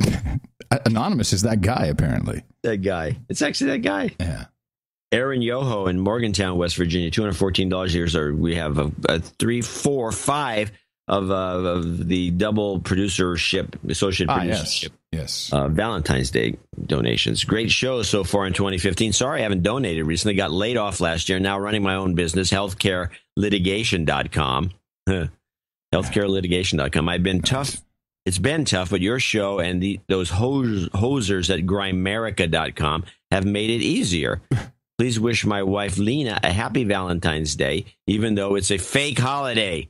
I couldn't pass up the double producership. Please give me some techno twit dude named Ben SEO optimization Twitter karma in hopes that I can be successful enough to hit knighthood this year. And his thing is his Twitter handle is HLS underline experts. Don't block me, bro. I didn't actually interact directly with people in the IT arena. Somebody whose name was. tech. Gibson's I nuts. can't even remember his last name. I think his first name may have been Ben. All right. Dude named Ben. Dude named Ben. Dude named Ben. You've got karma. There you go. All right, onward. Uh, Bar- Baroness Monica Lansing. Yay. Those are- I actually missed a couple. Hold on. Bar- uh, you did. jumped a page. You missed. Uh, I missed a bunch. Yep. Start with Steve Edwards in somewhere, Ohio. 214. It's not too much trouble. I'd like to split the double credit with the love of my life, my best friend, and my wife, Nettie Edwards. I'm not sure what she sees in me, but I'm glad she sticks with me. Aw, so nice. Yeah. Brian Vaughn, 214 in San Carlos. Do we have a note from him? Let me check. because I didn't. S- it could be. I mean, there's a couple of notes. How about your system? You had the system where you have the pile of checks and it's all in order, and that you get the top no, no. one. This is. The, I'm saying, do we have an email? I meant. Oh, okay. Sorry. And no, we don't. No, we don't. All right. Some reason. And no, this didn't come in as check. This came through PayPal. Baroness Monica, Brian, if you got something. to tell us. Uh, Monica Lansing, Drayton Valley, Alberta, Canada, two fourteen. This donation is is in honor honor of my sweetie. Maybe it's honor. Honor. Honor. Honor. Uh, honor of my sweetie Hal. We'll be celebrating our 14th anniversary February 19th. So this is a combo Valentine anniversary donation. Love karma to all. Baronetess Monica Lansing of Pembina Valley, where how it's cold right now. That is so sweet. David Hutchinson in Conifer, Colorado, which means tree. $214. John and Adam, please accept this attached Valentine's Day donation to give Kathy Hutchinson of Conifer, Colorado, a special Valentine's Day producership on the show. So she gets this one. She's my longtime suffering spouse and recent list. Oh, the other one was divided, so they're going to get, okay, this is going to start writing notes down. She's my longtime suffering spouse and a recent listener to the No Agenda show. We both love the deconstructions, which is absolutely superb, and now find ourselves laughing hysterically at the media reports as they roll in. Instead of succumbing to the terror model of today's media, government, and leadership, we sit in a hot tub through hot tub. A hot, oh, I'm sorry. Hot and laugh our asses off. We hey, send like pictures. A hot night through butter. Send pig. pictures. Can't think of anybody I'd rather spend time with than my wife as we sit in the Hmm. hot tub watching the snow come down and listening to the best podcast deconstruction, media deconstruction out there. Please play her favorite Judge Jeanine clip, Kill Them, and Bomb Them, and follow it up with some house selling karma for me as I'm trying to sell my Scottsdale, Arizona house. 88s to my lovely wife, 73 to you and Adam, 73 to the Gitmo Nation, 73 to N5XL Conifer, Colorado. It's funny because uh, we make this show in the hot tub, actually. We need to kill them. We need to kill them, bomb them, bomb them, and bomb them again. You've got karma. Yeah, we love Judge Jeanine. She's she's not a warmonger. No, no, no. She's a peaceful woman. She and McCain should get together. All right. Uh, now we got a note that came in on email. I'll have to read from John Donovan. Did I? Yeah, John Donovan in San Jose. He's a he's a Baron of Silicon Valley. Sir John, two fourteen, and it's another uh, Valentine's Day double deal, double dip. Uh, should have seen this uh, da- da- da- da- da- Sunday. Sunday. It was great to see the. What is he saying here? Okay. Oh, all right. Now, didn't we get him in on the last one? He snuck in. I don't know, John. I can't remember. I, I just produced Anyway. John should have seen this and taken your advice. Thanks for the reading. And though I still want to hear you do a Sunday, Sunday, Sunday announcement some Sunday, like motorsports radio, like motorsports radio spots used to be. It It's great to see the great response you guys had. And uh, yeah, he, he's been well he got- prepared. Well done. Well done. He got credited the last time, and we, Oh, okay. but he had another note. All right. So you, it's one of these days you have to do a Sunday, Sunday, Sunday thing. Two more. Francine Hardaway, Hey, Dame, Dame Francine, Hardaway, yeah. Half Moon Bay. She's not in Half Moon Bay. It still says that, and she's. I asked her about this. Uh-huh. She says, "No, it's PayPal. You can't change your address. Two hundred dollars. I'm home from Gitmo, Maharashtra. That's right. She was in she was in India. India. Yeah. Where I listened avidly to the show for two weeks and caught Adam's transition. He should use I'm- this I'm in whatever his transition. current equivalent is of hookers and blow. A hundred dollars is not going to get me very far. It's two hundred. Well, you get the other half. It's not like Ah, this is true. yeah. Armando Guerra. However, if we pooled our resources, Hmm. Armando, I miss Armando. This is the mailman from. Uh, yeah, from- Armando, where's his email? I didn't get one. I don't. He just. I don't think he sent an email. I think he just donated. This is the the mail carrier, Yeah, your old the buddy. old guy over in uh, must still be listening. Travis. Heights. Of course, he listens. Is it Armando? I mean, I'm putting it in the search. Armando, Armando Guerra. Yeah, uh, Armando. He works. He walks ten hours a day. But He would like a, a much longer show. I'm sure. These guys walk a lot. Not, not all of them. He does. He's got Some a them have little carts, uh, little cars they give them. Mm-hmm. Anyway, that concludes our uh, executive and associate executive producers for a show, uh, whatever it's show. six nine show? or three. Six, nine, or three. Three. And we want to remind people that we do have another show coming up uh, Sunday. Sunday, Sunday. Sunday. Uh, do have a quick PR mention here. Dvorak.org slash NA. Now that, as well as the new No Agenda CD is out. Oh, good. This is Ramsey Kane. Um, so you can download MP3s in a zip archive, download the label, you can burn and distribute discs. Uh, this new edition is titled, uh, what is it titled here? This Week in Syria. oh, man. Um, so we really appreciate uh, what Ramsey does. It really helps. Uh, and you can use these to obviously uh, promote the program and uh, help get us uh, new producers and uh, keep us going. Everyone should send these discs to the Koch brothers. oh, yeah. Hey. Koch brothers! Yeah, they should totally be hooking us up. Indeed, please support us for the Sunday show. Dvorak.org slash N. And thank you all very much for your support to our execs and associate executive producers. You need to propagate the formula. Our formula is this we go out, we hit people in the mouth.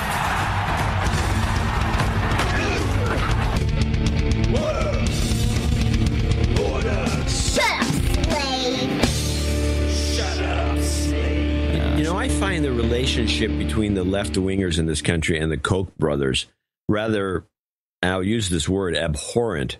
The Koch brothers began as anti Vietnam War activists. Hmm. And then they became they evolved into modern libertarians, and they're very libertarian in their views on everything. Mm-hmm. And In fact, almost checklist libertarian. And they started the Cato Institute and the Heritage and all these. A lot of these groups were started by them. I don't know how active they are, but it seems to me that their background is is right. Should be pretty much right in line with the, the progressives, but it, it but just be- I think it's just because they're connected to a l- private corporation that has Yeah. That- oil. that's oil, yeah. This, this is that's bad. They're bad automatically. Which uh, and they make diapers, Oh God, which no. are which are made from oil. well, Well, some right? not. Yeah, of course, plastic. It's plastics. Hello. It's it's petroleum products. That's what I should. That would be more correct. Well, well, so this uh, there's three main things that I see going on. Actually, we need to take a little break, John. We do have a brand new month. We have presidential proclamations. I'm all ears. There we go. It is uh, by proclamation. It is American Heart Month. Which um, let's see, anything special? Oh, of course, we had the National Wear Red Day, February 6th. We missed that. Oh no! Somehow, yeah, we missed that one. then it is, uh, let's see. Oh, um, Why would they have a wear red day? to uh, commemorate and to recognize the heart. It's stupid. So moral self-licensing. Ah, by war red, I'm done. I don't have to help out. Everybody feels good. Change my Twitter icon. Bingo, boom, shakalaka, good to go. Uh, and uh, and hello, uh, African Americans. You get to share your history with American Heart Month, which I think is a slam down. African American history should be uh, should have its own month. Shouldn't have to share anything. but there it is. That was it. Uh, no. For generations, the story of American progress has been shaped by the inextinguishable beliefs that change is always possible and a brighter future lies ahead. With tremendous strength and abiding resolve, our ancestors, some of who were brought to this land in chains, have woven their res- oh, I got to read this better. Have woven their resilient dignity into the fabric of our nation and taught us that we are not trapped by the mistakes of history. It was these truths that found expression as foot soldiers and freedom riders sat in and stood up, marched and agitated for justice and equality. This audacious movement gave birth to a new era of civil and voting rights, and slowly we renewed our commitment to an ideal at the heart of our founding.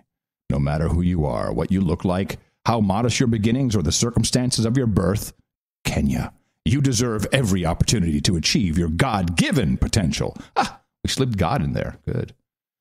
And then finally, if that wasn't enough, it is National Teen Dating Violence Awareness and Prevention Month. I didn't know. That's a, this is a this is a new one. National Teen Dating Violence Awareness and Prevention Month. Wow. uh, there's a website, loveisrespect.org. Yeah. Or vetoviolence.cdc.gov. All right, kids. Your president says What's it got to do with the CDC? It's a health. Uh, it's a health uh, crisis. When they go to the public health, uh, Well, the abuse. Department of Health. Mm, I don't know. CDC sets the standard for what constitutes everything. So Shouldn't. Yeah, well, it's how it works. I don't make it up. Uh, so this, so it took me a little while to figure this one out. It was very, very annoying. It's been going on for a week or two, and all of a sudden, it just exploded. This uh, this vaccine uh, issue. It started with the Disneyland thing. That's where uh, you saw it first. We played clips. Um, was it? Yeah, now? I got a clip ago. here for you uh, for this topic that you're going to discuss, which is Josh on measles. We got Josh's back. I would love to. Uh, let me lead into Josh on measles. Um, so I'm seeing story after story after story, and it turns into the story about uh, uh, anti-vaxxing, and it turns into uh, maybe making uh, vaccines mandatory. So it's and every it's just it's it's exploding on the scene. So I I have an insider now. I uh, I called Nurse Tracy, and she helped me figure because I'm like, is there is is this, is there some measles thing? Is it really really all that bad? Is this an epidemic? Are the people in the hospitals freaking out? Said no. Okay, let's hear Josh. I did speak to the president about this issue shortly before the briefing, uh, and he was clear that we don't need a new law. We need people to exercise common sense. The federal government does not need to establish a mandate for vaccines, just recommendations and advice to states I think what the, and pres- parents on the what the president is saying we shouldn't have to. That the science is clear, uh, and it is Science. it is irresponsible for people to not get their children vaccinated. Mm-hmm. Not only because it puts their children at risk of getting the measles, uh, it also puts at risk uh, the uh, children, other children in their community, if it's infants who are t- too young to get the vaccine, uh, or children who have compromised uh, immune systems that they can't get the, the vaccine. So uh, people need, need to take responsibility, not just for their kids, but for the kids in their community. All right. Let me make one thing absolutely clear to everyone within the sound of my voice. The politicians talking about vaccinations and measles do not give one shit about you or your kids. Not an iota. This is a full scale attack. It's interesting because I, I think this is something that backfired. This is all about the 2016 election. This is only to make Republicans look kooky make them look super, super, super kooky. Here's an example. We start with CBS. Interesting to hear the debate in the Republican Party. You had most top Republican lawmakers saying yesterday, and very clearly from Senator Rubio, that vaccines work, they protect children. There's no evidence that it causes um, autism. And then you have Senator Rand Paul saying first on CNBC that it, he's seen it cause mental disorders in children, and then he has backtracked that statement. What's going on in the party? But you have the Wall Street Journal, which you write for now really taking on Chris Christie's comments yesterday, today taking on Rand Paul, calling this the weird science of Mr. Paul and Christie's and their lack of information. Are you surprised, Peggy, that measles and vaccinations are part of the political conversation, number one? And oh, number yes. two, does it damage anybody's chances? are you surprised? Ah, so this uh, this could first of all, Rand Paul they kookified him. He's out. He can never run for president again. This is going to haunt him. Where this everyone oh Rubio. Well, I'm not going to disagree with this, but I, I this is not my interpretation of what's going on. Can I finish? Finish. Yep. This has been politicized. This is Ben Carson now. Uh, this is CNN. Now you see a couple Who's the of only your smart guy running? Potential opponents coming out, and it seems as though the Republican Party has a problem with science. That they're always pushing back against science. And here, once again, Rand Paul. Uh, he says vaccines are good, but he's pushing back as if the government should be making all these decisions. Chris Christie, sure, he corrected his statement as well as Rand Paul, but he was pushing back that it shouldn't be all about the government. Do you think that is wise, or is it pandering?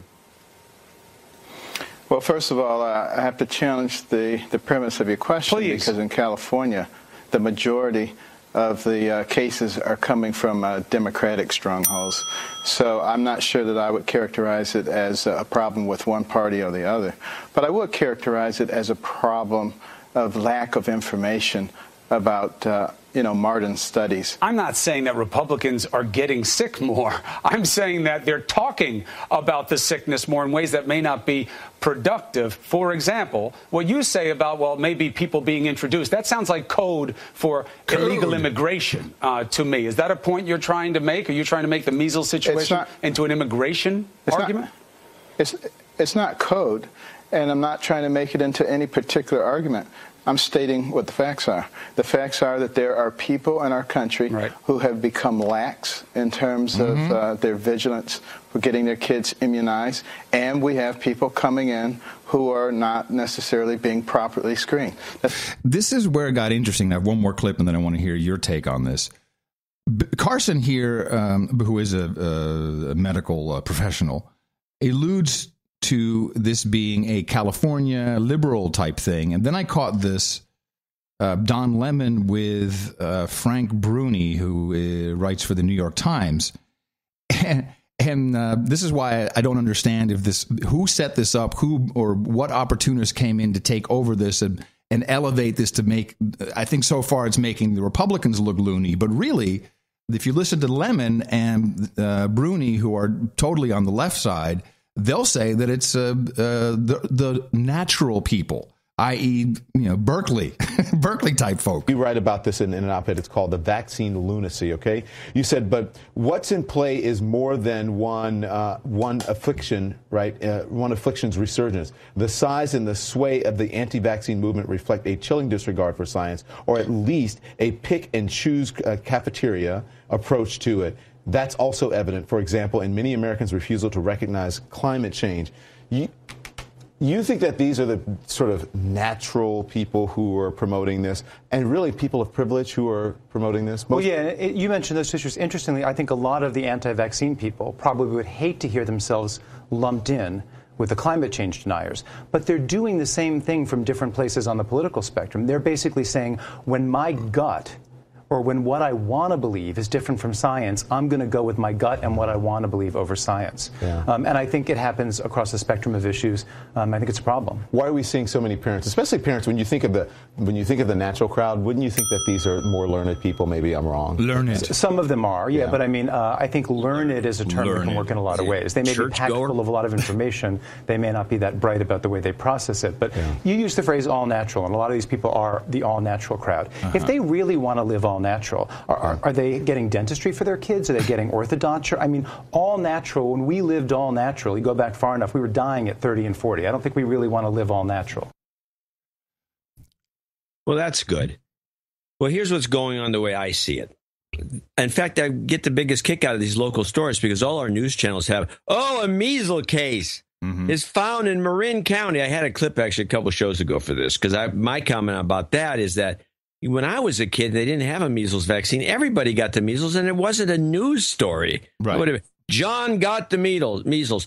So they bring up this measles. They they make a mountain out of a molehill. Your friend Tracy says the same thing. It keeps it stays in the news. It's focused on measles, and then it gets picked up by the political stations, which have to make everything political. They blame it on the Republicans. The Republicans stupidly get involved, and that keeps the whole thing in the news. And what it, uh, since we're talking about vaccines and we're talking about science and all the rest of it, what one little fact is left out of all this as it, as it boils and boils, and the Republicans are now involved, and now there was backtracking. That's bullcrap. That just happened by accident. This was a concerted effort by the pharmaceutical companies to to distract as a distraction of the week, because they're the ones with the money that can promote these kinds of things and make measles um, all of a sudden measles a big story and get and let it do, do its own thing, which it's done. And you found the political side of it to distract everyone from the simple fact that the flu vaccine this year does not work at all. There it is, ladies and gentlemen. There it is.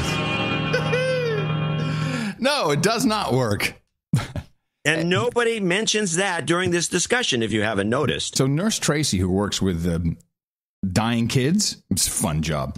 Um, she, um, when she started to work here at this uh, this hospital, she had to get a booster for measles because you know it had been so long that she, you know, I guess it goes the effectiveness wears off.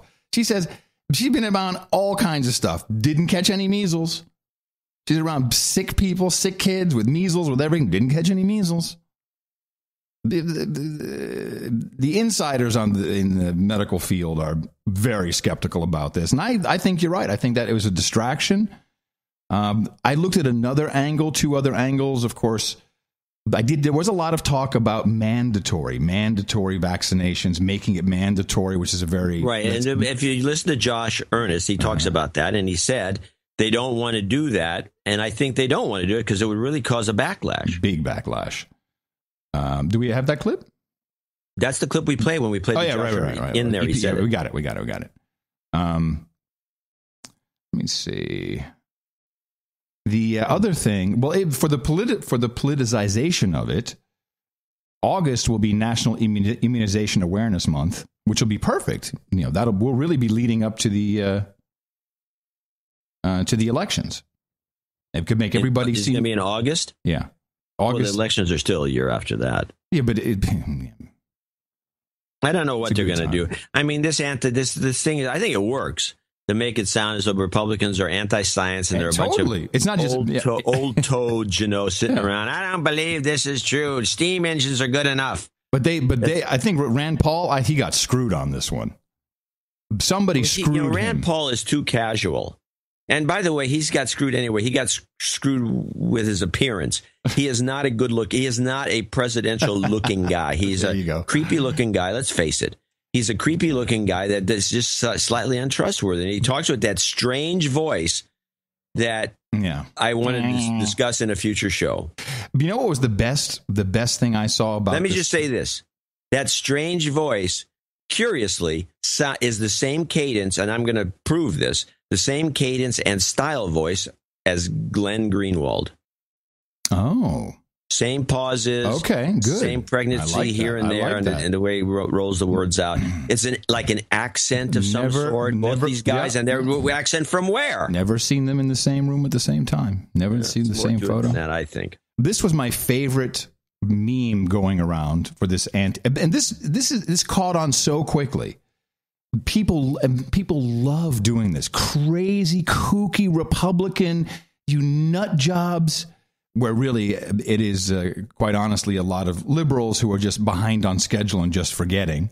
That's the facts. We we have those facts from from uh, the organizations themselves about uh, uh, people not being on schedule with their kids. I love the uh, Roald Dahl stories. You see that? No. Oh. Uh, some people, I'll read this to you. This is from the Washington Post. Some, but it was everywhere. Some people seem to think measles is a nuisance disease, irritating and briefly unpleasant, but otherwise harmless. For many, it's not so bad. For others, the measles is serious and potentially fatal. Blah blah. Children. eh, eh. Uh, then we have Roald Dahl, the renowned author of Boy, Charlie and the Chocolate Factory, Matilda, and scores of other books and screenplays, lost his daughter Olivia to measles in 1962.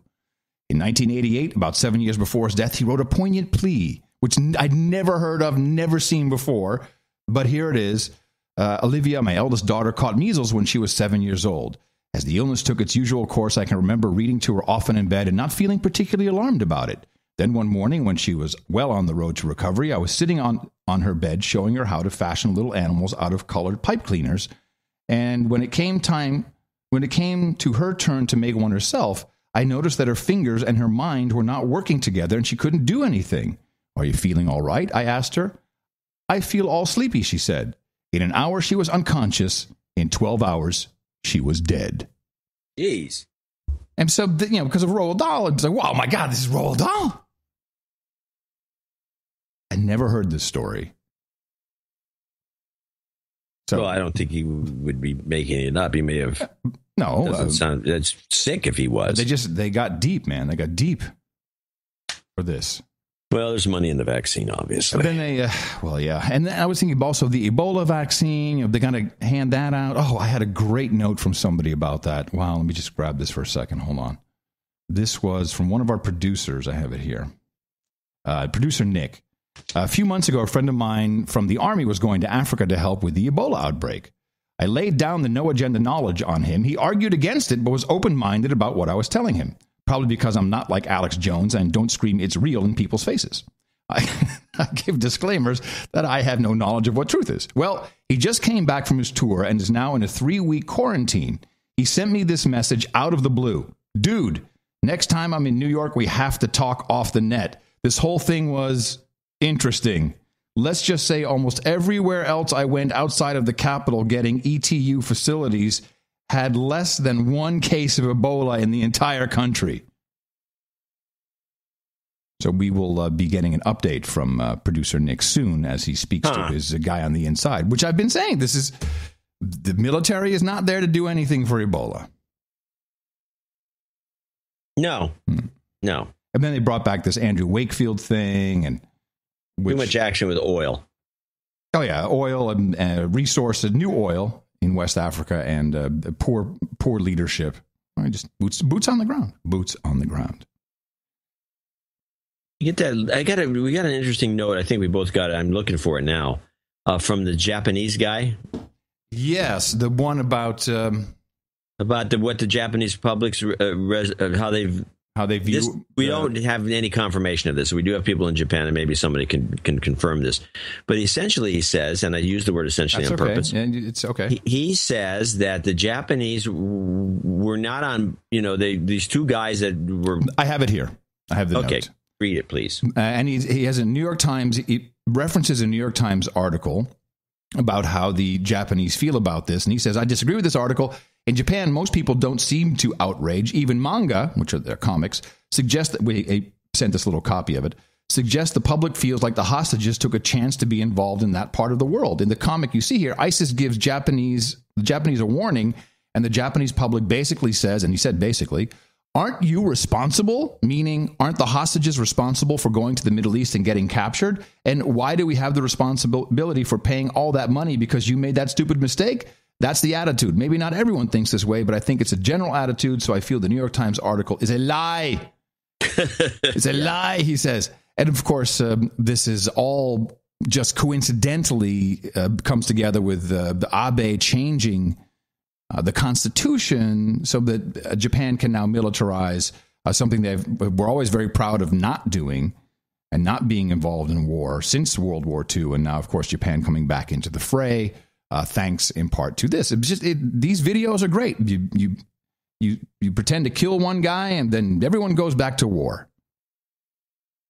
It's phenomenal, just phenomenal. The way it works. hmm Um, so anyway, whether it was set up ahead of time or not, the it, clearly the legs that this uh, measles vaccine story has uh, is just being used to make to kookify people. Kookify.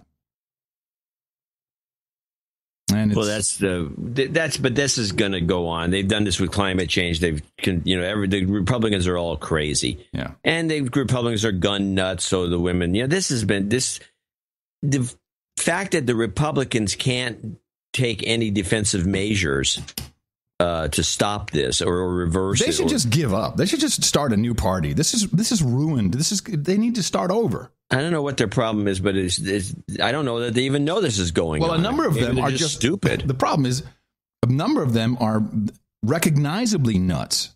I mean, the Democrat Party is nuts too, but you know, this is so much better. Come on, it's great fun to say they deny science. Pfft. End of story. Deny End of- science. this, this is what they, they deny science. This is the end of story. You have nothing left to say.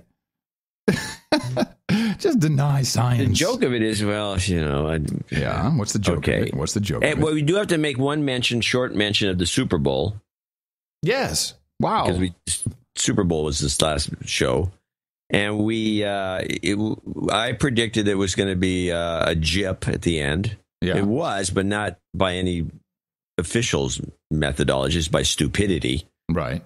Again, the Seattle team, which should have won because they had a spectacular ending that should have brought them the winning score, and then they threw the ball away by stupidly throwing a crossing route two feet from the goal line in the middle of a tight defense. Okay, that makes sense.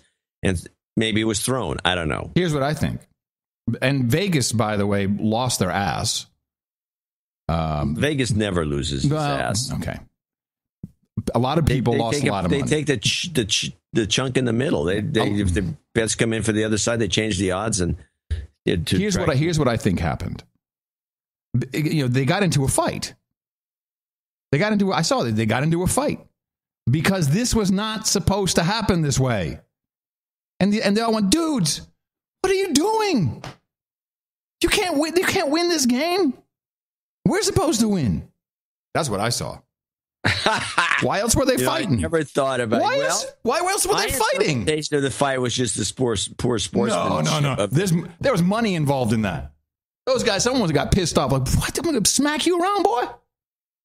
You ruined the whole idea. Well, you know, the, here's the here's the interesting point to that theory, which I'm now going to uh, Subscribe to. Since we, we believe these games are all rigged, I have to accept this theory. On, I just have to accept Just it. have to accept. You must. You must accept. because of the no agenda th- thinking. The guy who made the interception was an opportunist. He was a rookie. Yeah. Who was not clued in on this. No, and he. What are you doing? Don't don't catch the ball, moron. yeah, exactly. They've screwed it up. Oh and man. according to the coach, who is you know who is now going to be ruined for life, uh, he said that well, this play was supposed to be an incompletion. Huh. He said it was a play that we it was a throwaway. Right. Now, I'm thinking when he says this that he's just an idiot. But now, the more I think about it, Yeah. I mean, he's claiming that he's going to throw a play away. Now, there's could be all kinds Hmm. of reasons for doing that. And then they were going to run Marshawn Lynch, but the guy intercepted it and screwed up everything.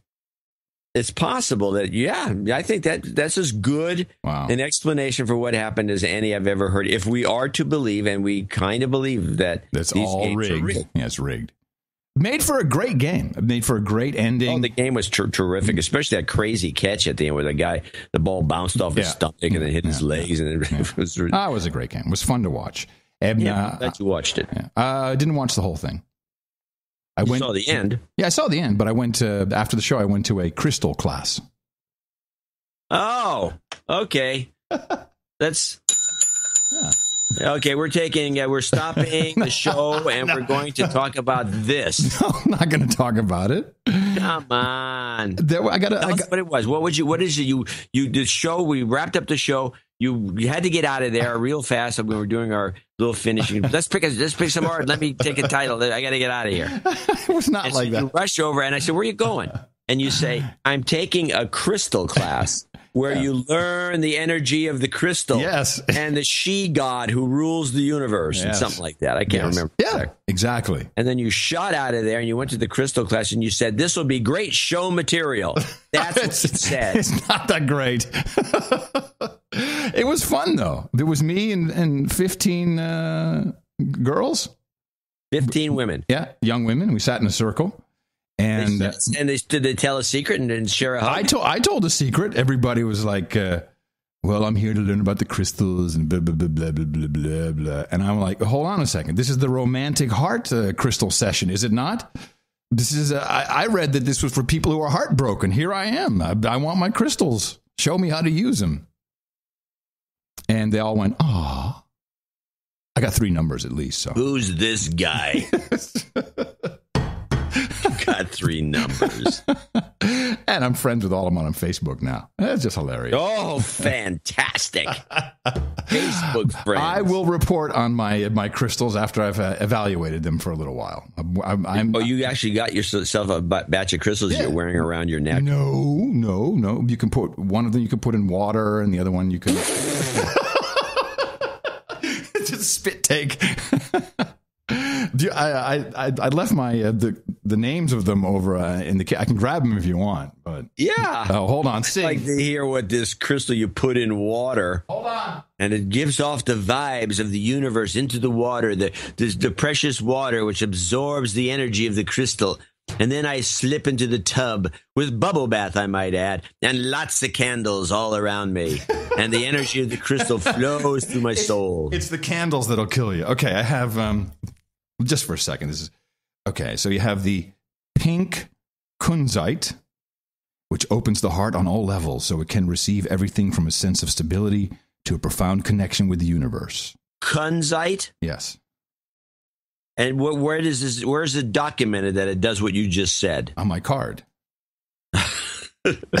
and but my favorite is the rhodochrosite.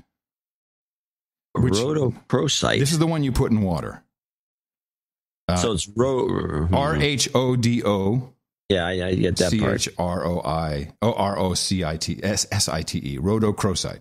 Enlivens dull senses, provides an immediate sense of bodily awareness, assists in overcoming negative self talk or destructive relationships, promotes physical vitality and sensuality. Is it pink? Yes. Yes. Uh, especially useful for transcending physical trauma relating to accidents or abuse. Returns Yeah, users. well, actually, yeah.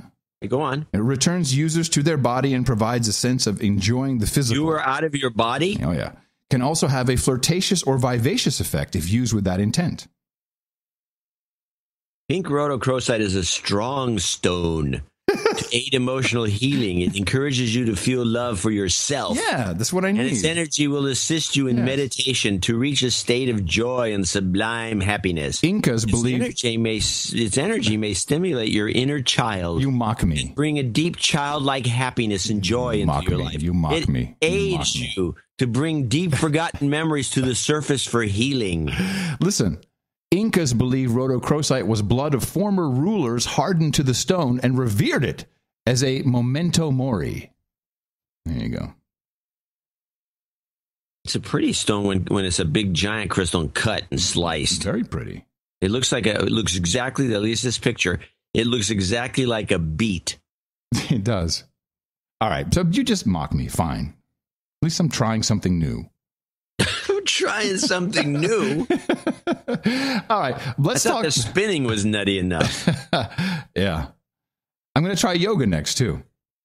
Oh well, you probably need the the uh, flexibility. Oh, I think yoga will be nice. I'm, I'm, gonna- I'm in, You're gonna try yoga next. Yes. Yeah, what's wrong with that? Lots of people do yoga, John. Yeah, no, I think it's fantastic. I You said people- yeah, no. You said yeah, no. You said yeah, no. Yes, no, maybe. I was actually, I don't know. what? I was actually hoping to do a count with a with a with yes, a. no count? I've got a clicker that I was gonna. Oh. you can click on. It tells you numbers. I would. I got to get this yes no thing eliminated. I don't need everyone to email. Oh, the explanation for the yes no. And they, I don't need the, I don't care about. Just- you just what need to get yes, rid of no it. means or how its usage is developed over the years. I don't like using it. Yeah, I want it gone. You just need help stopping. I agree. Yeah, maybe some crystal. I'll bet you there's a crystal. I, I shall ask the crystal. aware. I will ask the crystal lady. yeah, see if I can be more aware of. of I here's what I will do. I will post this in um In the crystal. in the crystal Oh, there's the crystal Facebook room. Yes, group. Now you might want to try the garnet because the garnet help. I have one too. The garnet helps you focus um, on what uh, on on your uh, strategy for your you know to win your war, and this could be your. Is this what you got? You got some Yeah, garnet? I got a garnet. Yeah, I got it, and You it's right here. more? I use the garnet for the show to uh, inspire me and protect me. Huh. Yeah. Who should use? Here's who should use this road, road whatever it is. It's common for many people to evade certain issues, even though you know that you feel a deep sense of mistrust of some person at a gut level. This strong reaction in the gut or within the solar Fine. plexus Yeah, or fine. power fine, shock. Fine, fine, fine. Let's move on uh, to the biggest lie of the week, which I found so beautifully covered up and pasted over. Uh, this Brian Williams lie. Ah, this is great. Yeah, here's I have a couple clips. And by the way, I want to make sure that we remember that it harkens back to the Hillary Clinton. Hillary Clinton. That's right, Hillary Clinton lie. Exactly the same idea. Well, actually, this is a little more, a little rougher. Here is uh, lie one. We started with a terrible moment a dozen years back during the invasion of Iraq when the helicopter we were traveling in was forced down after being hit by an RPG. Our traveling NBC News team was rescued, surrounded, and kept alive by an armored mechanized platoon from the U.S. Army 3rd Infantry. Okay, so the uh, the discrepancy here is that his helicopter was not actually hit by an RPG, but a different helicopter. Here's line number two. Ladies and gentlemen, during the Iraq invasion, U.S. Army Command Sergeant Major Tim Terpak was responsible for the safety of Brian Williams and his NBC News team after their Chinook helicopter was hit and crippled by enemy fire. Fantastic. So somehow this this comes out that he's full of crap, and then he comes up with an apology. Our Brian Williams does. On this broadcast last week, in an effort to honor and thank a veteran who protected What? me and so many others after a ground fire in. I'm sorry. Did you have a question? No, I'm saying he's he's already setting up. He has an excuse for doing this. Oh yeah. On this broadcast last week, in an effort to honor and thank a veteran who protected me and so many others after a ground fire incident in the desert during the Iraq War invasion. I made a mistake in recalling the events of 12 years ago. it did not take long to hear from some brave men and women in the uh-huh. air crews uh-huh. who were also in that desert. I want to apologize. I said I was traveling in an aircraft that was hit by RPG fire. I was instead in a following aircraft. We all landed after the ground fire incident and spent two harrowing nights in a sandstorm in the Iraq desert. This was a bungled attempt by me to thank one special veteran and, by extension, our brave military men and women, veterans everywhere, those who have served while I did not. I hope they know they have my greatest respect and also now my apology. Epic fail. Yeah.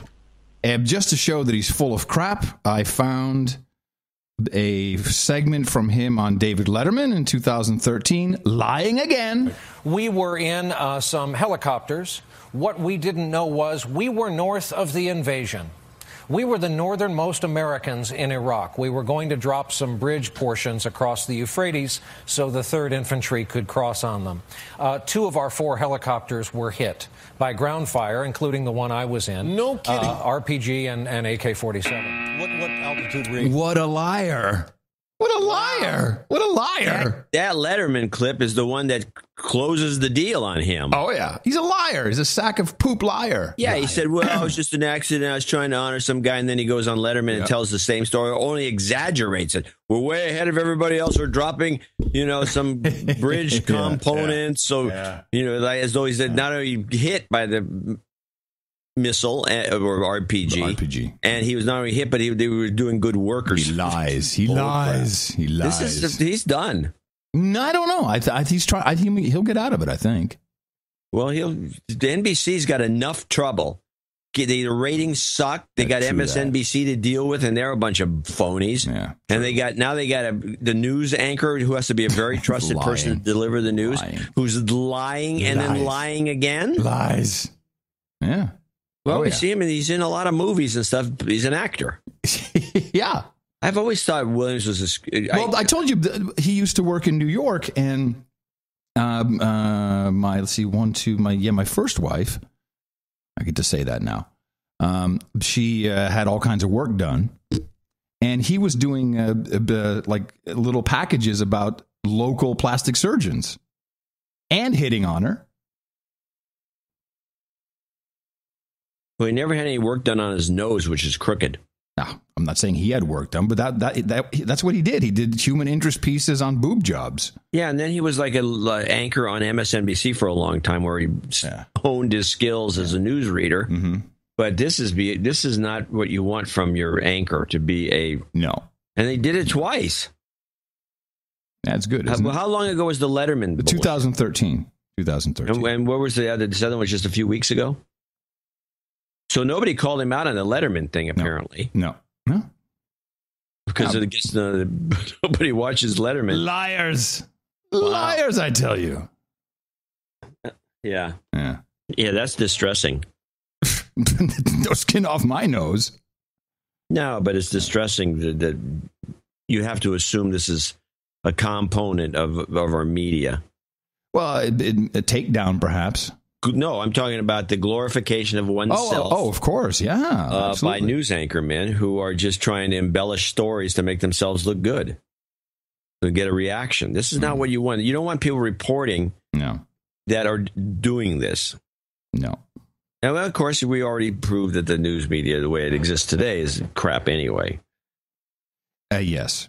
Here's a big story. This is the big story that somebody wrote in and said, "Oh, you guys, uh, there's nobody's reporting this, but they're reporting it." And I think this is a, technically a huge scandal that I think it has all kinds of implication. But play the anthem hacked. Oh man, This really, so we got that email, but this kind of just started to break today. Well, at this hour, millions of Americans don't even know it yet, but their health insurance company has been hacked. Someone broke into the database of Anthem, which is the second largest health insurer in America. Anthem is responsible for many of the Blue Cross Blue Shield plans. It's not clear how many people this impacts, but the database held personal info for about 80 million customers and employees. Anthem is offering free credit monitoring and is increasing its password protection. Well, that includes us. We're on. We're in that database. You? Yeah. The, the Mevio had. Uh, Oh yeah, we Blue had Cross. Anthem Blue Cross. and it includes former uh, former customers. We're so we're and it's social security numbers, addresses, etc. Yeah, and and- and now by law, which is the thing always bothers my doctors uh, at the Albany Medical Group, uh, which is in Emeryville. They uh, they're older guys, and about a year or two ago, they started. They all have these tablets, these little tablets they had to buy because they have some software now.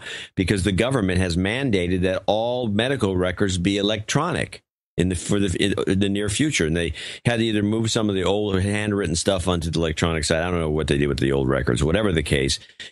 It's not secure that way. It's secure when it's a handwritten record that's in Yes, a sir. file folder. Yep. You go to the doctor, they pull your file out, and he's got his notes on there. Now it's on a, it's in the cloud. And if this sort of thing happens with Anthem Blue Cross, that means they're going to be hacking everybody's medical records. And by the way, that is considered a, pr- a private. That's private information. But if anyone can just hack it and pull it down, the hmm. insurance companies are going to love that. Oh, I didn't know this guy had that ailment. Oh, that's interesting. right. Hadn't even thought about that angle. That's where it's going. Oh man. Yeah. Well, this is, and I, I, I always have to refer whenever this happens um, to the fine work of um, Theodore Kaczynski. Industrial Society and its future. Link in the show notes. Have a read. This is all really the more we rely on technology, the more it's going to start messing with us. And this is a prime example. Um, and this is Oracle, by the way. These guys use Oracle, so for, this is a big problem. Um, if I mean, yeah, you have sec- you have um, security for getting into it, but you would think that the Oracle uh, product has is just not that stealable. You know, I mean, how, how But if there's passwords involved and there's outside, if you can get into it from an from an mm-hmm. outside line, mm-hmm. it's you, it's just impossible to protect. Find the guy with the password, put a gun to his head, give him you the password, you type it in, you take all the data out, you download the whole thing because he's the administrator. You find out who the guy is, and you just put a gun to his head. You can get all the information you want. Anyone can do this. If you're going to put private information in the cloud by law, this is going to happen. Well, you say cloud. We don't know if it's in the cloud or just it doesn't matter where it was. They Well, got it. Beside the point, it's on a computer. So Pat, let me allow me to ask. My doctor stuff's quote unquote in the cra- cloud. The cloud doesn't mean anything. It's a meaningless term. Yes. I mean, it means there's a computer that's online somewhere that you're linking into. But I'm just saying that you can get into these things, and, And- now they've done this. I mean, it's just an. This is like a one salvo. I mean, next thing you know, everything's going to be. And of course, they immediately uh, cooperate with the FBI. This is their, they're ahead of the cyber sharing uh, uh, agreements, but they're already doing it. And this uh, th- this kind of comes with a coincidental launch. I'm not sure.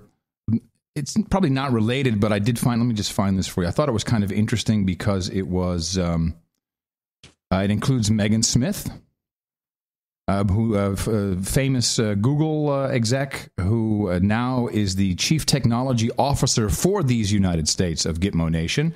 Eb, she wants you to join the U.S. Digital Service. Have you seen this? The uh, no USDS, uh, uh, the United States Digital Service, has a little, a nice little video, a little promo video, which includes her and some dudes named Ben and dudes named Dudette's name.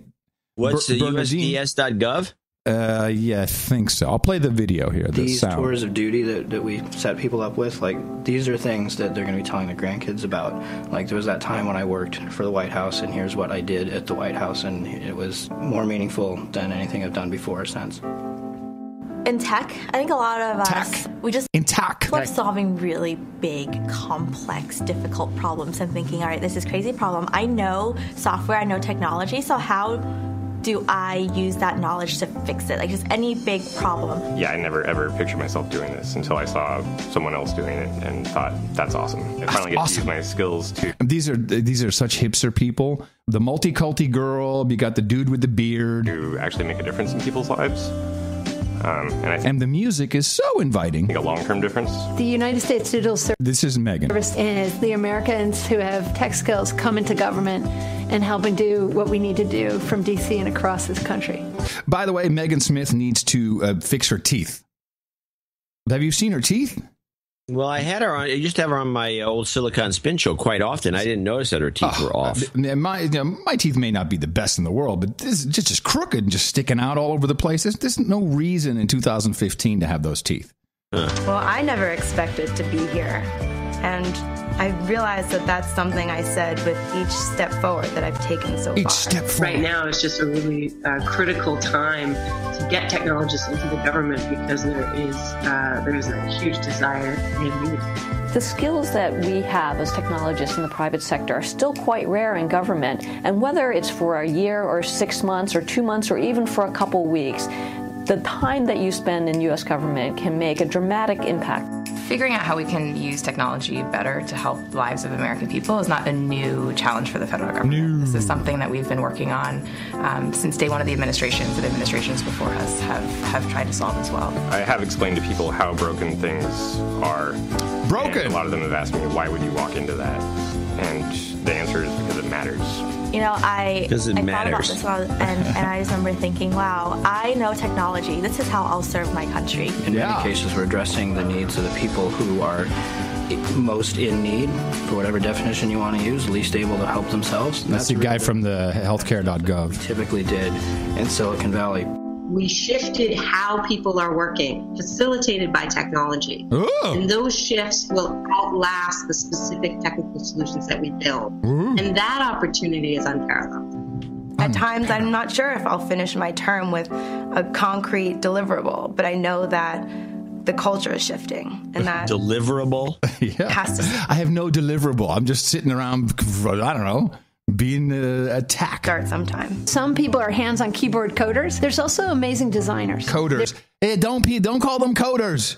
They don't. Coders don't like being called coders. There's amazing design thinking people. There's product managers. There's people who really know that subject matter or that user who are, you know, scrubbed in together on these fabulous cross-functional teams. Fabulous. So, uh, Scrubbed in together. Is that what she said? Yeah, this is Megan. Scrubbed in together on these fabulous cross-platform teams. Listen to this. This is gobbledygook of the highest order. Subject- Hold on. This is really good. This is it. This is, this is the last bit here. So a concrete deliverable, but I know that the culture is shifting and that has to start sometime. Some people are hands on keyboard coders. There's also amazing designers. There's amazing design thinking people. There's product managers. There's people who really know that subject matter or that user who are, you know, scrubbed in together on these fabulous cross functional teams. scrubbed in together on these fabulous cross-function teams. wow. I got to write that down. Hold on. That's a winner. Scrubbed in. Hold on. What does that mean? Scrubbed in together on these fabulous cross function teams. And that's Megan Smith calling people coders, hands on coders. That's rude. It's just rude. So um, you may not think you belong in the United States Digital Services, but we want you. Yeah, we want you. Oh, she's a, we want you, but not the digital. All right. Sad.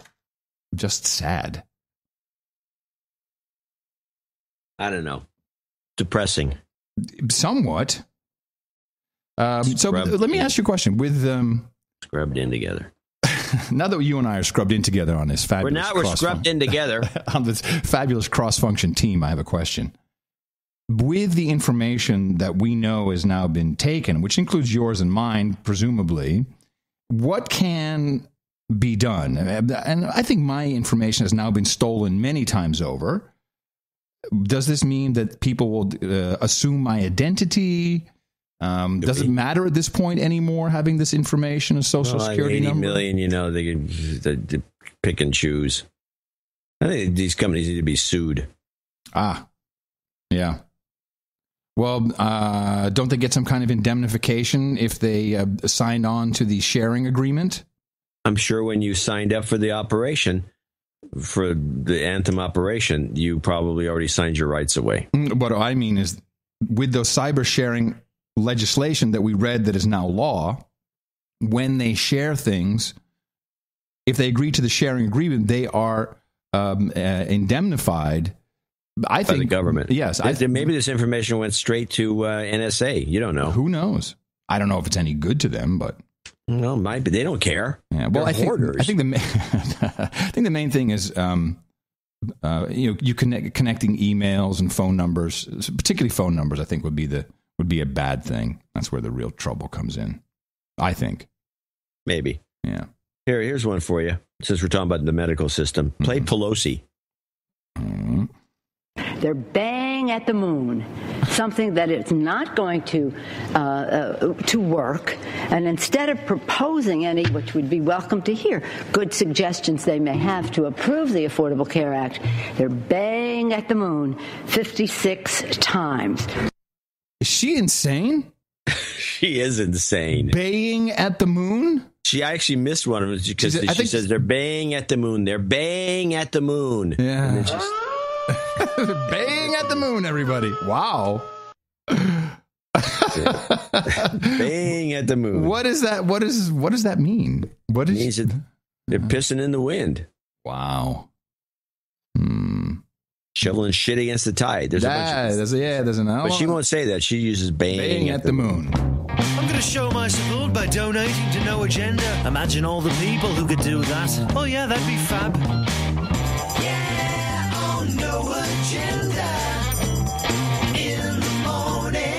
Before we you do have some people to thank for show you- what? Before you start, John, I just want to thank everybody. Remember, I do you remember I mentioned my PO box on the show? Yes, four one nine five eight, Austin, Texas seven eight seven zero four. Well, somehow everyone thought it was funny to send Adam stuff. Okay, what'd you get? Not, well, I got a drone. We know I got the drone, which is Yeah, I got a drone too. The So I got I, I crank up my drone. I got to talk to the drone guy. I, get- I need lessons. I haven't tried I my turned right. I got my drone. I'm not even sure this drone is this this this controller is right. So I, I flipped on the drone. I flipped on the controller, and boom! The thing takes off like a rocket, goes straight to the ceiling, and sticks there. so luckily, my daughter was here, and so I said, "Okay, Hey, hey, daughter, go get that for me. no, no, it was up on the ceiling. I said, "Get under this thing. I'm going to kill the power, and you're going to have to catch it because I didn't want to break it." And so I finally got the power turned off of the of the thing, and the drone paid attention and turned off all its motors and dropped. Yeah. She caught it, and then I did. I didn't know what. I, have, I have not uh, tried my drone yet. But do it inside. I got uh, a, uh, I got a, I don't know from who. I got a tin of stroopwafels. You know the Dutch um, stroop. Oh, James Kate sent me that. You know the stroopwafels. We talked about those.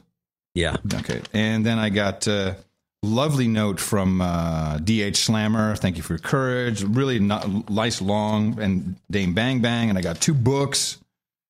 I got uh, just, it's fantastic. Thank you all very much. I got a lot to do now. yeah. That's good. I like it. It's nice. Nice. Very cute. Yeah, it's all cute. Okay, we have a few people to thank for supporting the program. This is the value for value model that we um, have been using since, well, not since day one. We just were doing it, uh, but now certainly well into six years of our seven. And this is what keeps us going. It is uh, producers like you who are helping us be able to do this show. Prescott Johnson in East Mountain, Nova Scotia. One, two, three, four, five. Uh, Tyler Oglesby in West Columbia, Texas. One, one, one, one, one. And he says, douchebag, check Adam. It's all well and good to tell the no agenda faithful about Fredericksburg, but please keep it quiet around a hole. yeah, yeah, exactly. John Sturk in his Stad, Sweden, $101.01. Um, Edward Bethuizen. Uh, no, that's. uh, Berthusen. Close, Oh, close, close. Edward Berthusen. No. In Amstelveen. Beerthausen. Beerthausen. $100. Amstelveen. Mazel tov, what'd you say? Yes, yes. Amstelveen Mazel Tov. Uh, he wants to. Uh, we'll do a good karma for him. karma, yeah. For everybody. Everybody gets karma. Perry Caldwell, Orange, Virginia, one hundred dollars. Ryan, oh, Rien von Richthoven in Hercules, California, right up the street from me. Would you- Actually, uh, that was uh, Rien van Rijthoven. Oh, this is Rijthoven, the Rijthoven. Rien is the guy who does um, fantastic building photography, art. He Yes, projects stuff right, onto the him. buildings. Yeah, he's good. And thank you, Rien. Rien. Uh, Aaron Murphy, Rio Rancho, New Mexico. Sir Chase McCarthy in Gaithersburg, Maryland. Uh, San Colecchio in Charlotte, North Carolina. Huh. Uh, Sir Dingaling, Dave Carey, Clermont, Florida, 9754. David McGee in Memphis, Tennessee, 8910. 8910. It's a nice little donation number. yes. Sir Kvistan Kristen Smith, uh, Blighton, Lincolnshire, UK, uh, 75. Lars uh, Sorensen in Haslev, Denmark, Hey. 75. He must be one of those happy people. In, yeah, the happy, Den- Happy, happiest people on earth. The happy Danish. Happy, happy. Um, John Height in Folsom, California, 6969. His third donation, fifth of the night. Money's tight, but no agenda's worth it, he says. Thank you. Uh, Tom Byrne in Wellington, New Zealand, 6969. Sir Arthur Gobbets. Gobbets. Zaandam, Zaandam. 6969. Please don't stop the show. Wouldn't know what to do or where to go. Please accept this donation. Not big, not small. Yeah, relationship karma for everybody. Uh, Andy Peelman in Leeds, Belgium. Palemon. Andy Paelman in Leeds, Belgium. 6969. Showing continued support, he says. Sean McCorkle in Arlington, Virginia, 6930. John A. Cars- Carlson III in Russell, Pennsylvania. Sir Harry Pilgrim in Fredericksburg, Virginia. Different right. Fredericksburg. Thank you very much. A nice place nonetheless. Uh, Andre Rodriguez in Setúbal, uh, Portugal, 5678. Was this something? What is a birthday or something coming up? Yeah. Uh, or new human resource karma. Ah. We'll give you that at the end. Is that? Uh, I don't think that was on my list. let me check. Uh, you, you can give him, yeah, you can give him a birthday call. yeah, yeah, yeah, yeah. It's in. I got it. Yeah, new human resource. Zero. Yeah. Uh, Char- Charles Brochetti in Incheon, South Korea. Hey, all right. Uh, 5555. And uh, shirt shops there. Wow. Adrian Brown, London, UK. 5555. Adam Demour, Moy, Moy. D E M O U Y, Milton, Florida, 5555. Double nickels on the dime from Stephen Schwartz in Schertz, Texas. Uh, Sean Longworth in Providence, Rhode Island. Martin Krupka in Jacksonville, Florida. A lot of double nickels on the dimes today. Jason Jackson in Carmi, Illinois. Jacob Swenson in Saratoga Springs, Utah. Dennis Good in Bettendorf, Iowa. John Dunn in Arvada, Colorado. David John Drew in Victoria, BC, over by Spuzzum, Michael Sabers in Danville, Pennsylvania. And whoops, I think just jumped ahead a mile. Oh, there it is. Uh, Patrick Daly in Rochester, New Hampshire, 55. He says a serious no agenda. A vote is in order. On the dime means exactly not plus 10 cents. Yeah, he was drunk when he sent that. Yeah. Okay. Uh, well, that's not the, the genesis of it. No, It's- 55 it's- is, yeah, double nickels on the dime, 5, 5, 10. And he has some stick up his butt about it being 55 exactly. I don't know. Right. Well, he did, but he doesn't realize where this came from. Came Uh, from Pat- Sergeant Fred, I think, didn't it? I think it was started, yeah. Rothkamp, right. Rothkamp, Drums LLC in Ripon, Wisconsin, 55. Zachary Zeisler in Omaha, Nebraska, 55.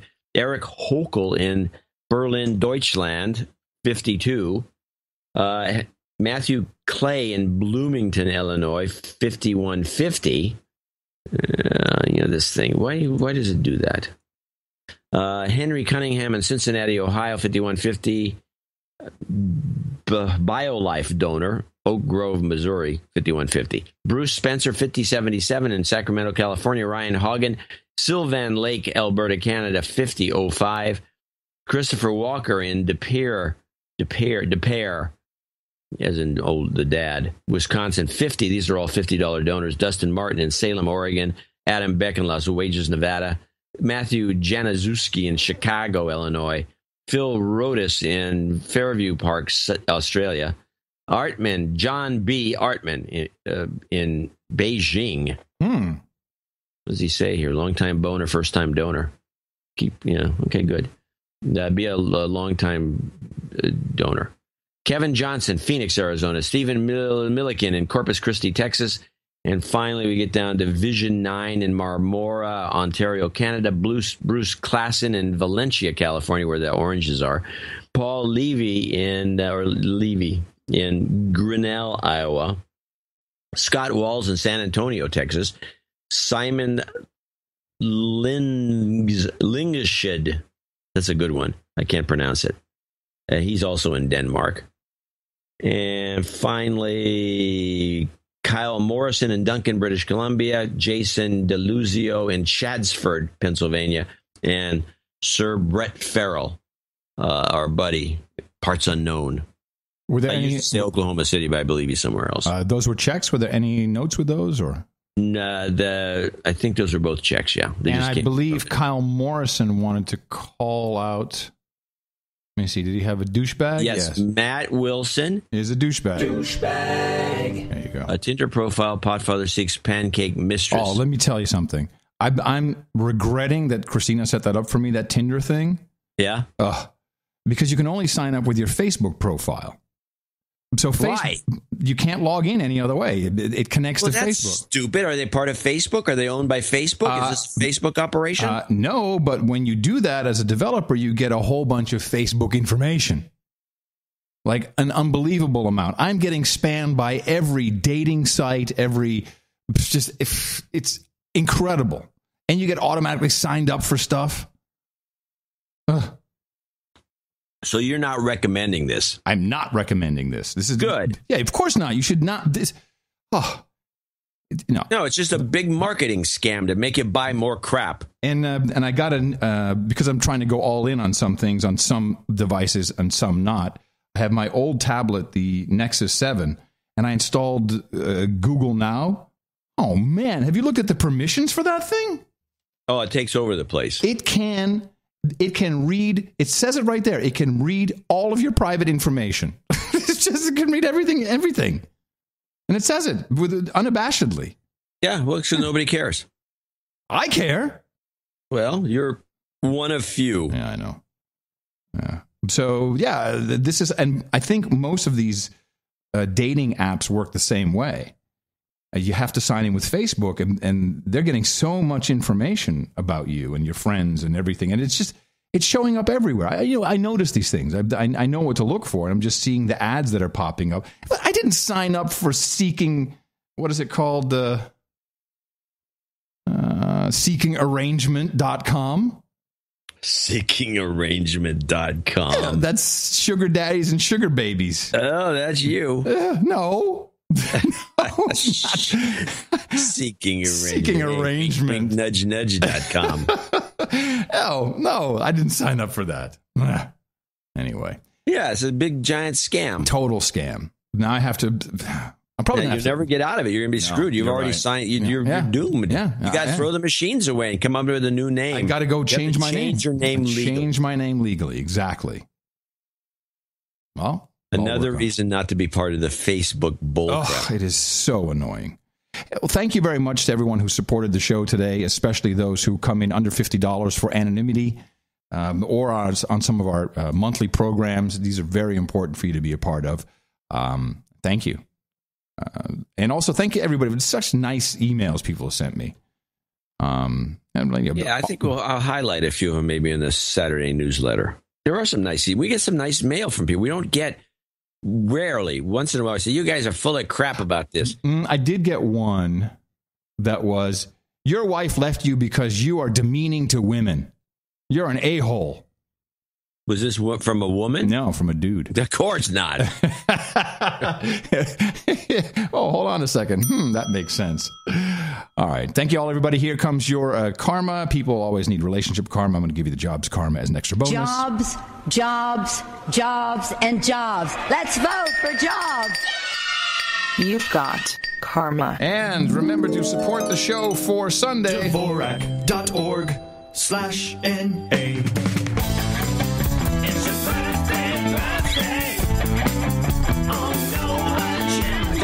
Short today. We have Andre Rodriguez, who is a new human resource, and uh, he wants to, I guess, say hi and welcome to Gitmo Nation.